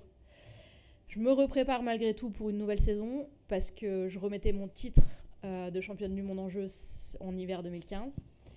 Et euh, j'attaque la saison un peu moyennement, moyennement prête et je me recasse une quatrième fois le genou. Euh, en début janvier 2015, euh, donc euh, juste, avant les championnats du monde, en, début de saison, sur une, des, courses du mois de janvier. Et donc là, je, je, décide que quand même 4 genoux, ça commence à faire beaucoup. Donc je décide d'arrêter ma carrière et donc je repasse par la case opération rééducation. Mais ce qui est assez dur, c'est que je pense que j'ai vécu mon petit burn-out aussi. Moi, on dit souvent que l'arrêt d'une carrière de sportif, c'est comme une petite mort. Euh, être traité, euh, c'est pas simple parce qu'on passe d'une vie qui est, euh, qui est complètement qui est complètement gérée, qui est complètement minutée, qui est complètement planifiée, avec des, des, des, des, objectifs clairs, à plus rien du tout. C'est-à-dire que du jour au lendemain, les... alors moi j'ai arrêté d'appeler les, les, gens aussi parce que j'étais pas forcément dans, dans, dans, une très bonne période, mais la Fédération française de ski a arrêté de m'appeler. Euh, les, euh, les encadrants de, la Fédé ont arrêté de m'appeler. Ils ont mis un an et demi à prendre des nouvelles, à savoir comment j'allais. Donc euh, ça a été... c'est aussi de ma faute parce que j'ai pas fait la démarche aussi d'y aller. Mais, c'est vrai que j'étais dans un gros moment de, de, solitude, de, solitude et de doute sur la suite de ma vie. Parce que en fait, je me retrouve à la fin d'une carrière de 17 ans en équipe de France avec un bac en poche euh, que j'avais passé en 2002 euh, parce que jusqu'au bac, il y a une bonne euh, structure de l'encadrement. Mais avec juste ça. Et pour moi, mes genoux sont foutus, donc je peux pas vraiment... Enfin, foutus en tout cas, ils sont, ils sont bien, bien abîmés, donc je peux pas non plus viser sur le reste de ma vie sur les skis. Donc je tente quand même de, de faire une saison un peu d'enseignement sur le SF de Courchevel à 1850 je suis originaire des Deux-Alpes, mais maintenant j'habite en Savoie. Et, euh, donc du coup, je me rapproche des, stations un peu, plus, euh, un peu plus prestigieuses, on va dire, où je peux essayer de me vendre un peu plus euh, facilement par rapport à ma carrière. Ce qui n'est pas facile, forcément, non, plus. Et, et, à la fin de cette saison de ski, je me dis, c'est pas possible, il faut, faut, que je change. Donc j'ai repris des études aussi. J'ai passer une licence euh, commercialisation de produits et services sportifs avec des petits jeunes de 20 ans. Donc moi qui en avais 36 à l'époque, je me suis retrouvée avec des, euh, avec des gamins qui sortaient du, euh, du, du, de leur bac et du, de leurs premières années. de, voilà, donc c'était une grosse remise en question aussi. Moi j'étais aussi une cancre à l'école, hein, j'étais pas... Enfin une cancre, disons que j'aimais pas l'école, j'avais toujours voulu faire du ski mais pas du tout de l'école. Et en fait, je me suis euh, redécouverte euh, bah, avec ce, nouvel objectif, euh, finalement, que, quand je travaillais, que je faisais quelque chose pour moi à l'école et qui avait du sens, parce que du coup, ça pouvait m'apporter des nouvelles connaissances. Ça m'a redonné un petit peu justement des nouveaux objectifs. Et donc voilà. J'ai travaillé sur cette licence en alternance avec Rossignol pendant une année. Ensuite, ils m'ont gardé pendant une année de commercial qui m'a pas forcément plu. Et donc là, je repars sur une nouvelle encore aventure. Euh. Mais c'est tout, le temps de la remise en question, quoi. C'est pas forcément facile. C'est pas parce qu'on est champion du monde que, finalement la, la vie, euh, la vie est toute tracée derrière non plus, quoi. Et un, un bout de métier de Marion, c'est ce qu'elle fait ce soir, c'est conférencière. Donc si vous voulez organiser des événements et euh, profiter de l'émotion et de l'expérience de Marion, faites appel à elle. Euh, c'est aussi une partie de sa vie professionnelle aujourd'hui. Merci Marion, merci Jean-Denis. Je vais laisser la parole à, Yannick et Patrick. Voilà. Alors merci euh, pour cette soirée. Je note euh, qu'il est important de, savoir sortir de sa, de sa zone de confort, de se remettre en question. Ça fait partie des, des coups qui sont difficiles à encaisser dans la vie et également des réussites. Et en fait, on a eu de belles recettes ce soir pour voir qu'on pouvait se réadapter, se réinventer. Donc il y a vraiment beaucoup d'espoir autour de, autour de cela. En ce qui nous concerne, en tant que, commissaire au compte, eh bien, nous travaillons aussi systématiquement à nous remettre en question pour continuer à, bien accompagner ce microcosme économique. Voilà, alors, il nous reste à saluer. À les applaudir, hein. on va. L'ensemble des intervenants, surtout à les applaudir. Bravo Marion, bravo Jean-Denis, bravo Dan, bravo Luc et bravo Pascal. Merci à vous. On va sûrement euh, clore effectivement euh, cet instant euh, qu'on a vécu avec beaucoup d'émotions quand même, hein, de part et d'autre. Là, c'était très intense. Et puis rappeler peut-être les trois clés hein, que Jean-Denis a évoquées. Le sommeil, donc c'est pour ça, on ne va pas arrêter trop tard ce soir. Le sport, ça c'est pour demain matin, mais pour tout le monde, on surveillera. Et les instants de convivialité. Ça, je vous propose de, démarrer tout de suite par un verre de l'amitié. Et peut-être qu'on aura du muscat de chez Frédéric Mochel, je ne suis pas sûr. Mais en, en, tous les cas, j'espère que le vin, vous, vous l'apprécierez. Et je vous invite au verre de l'amitié. Et je vous souhaite euh, encore une très belle soirée.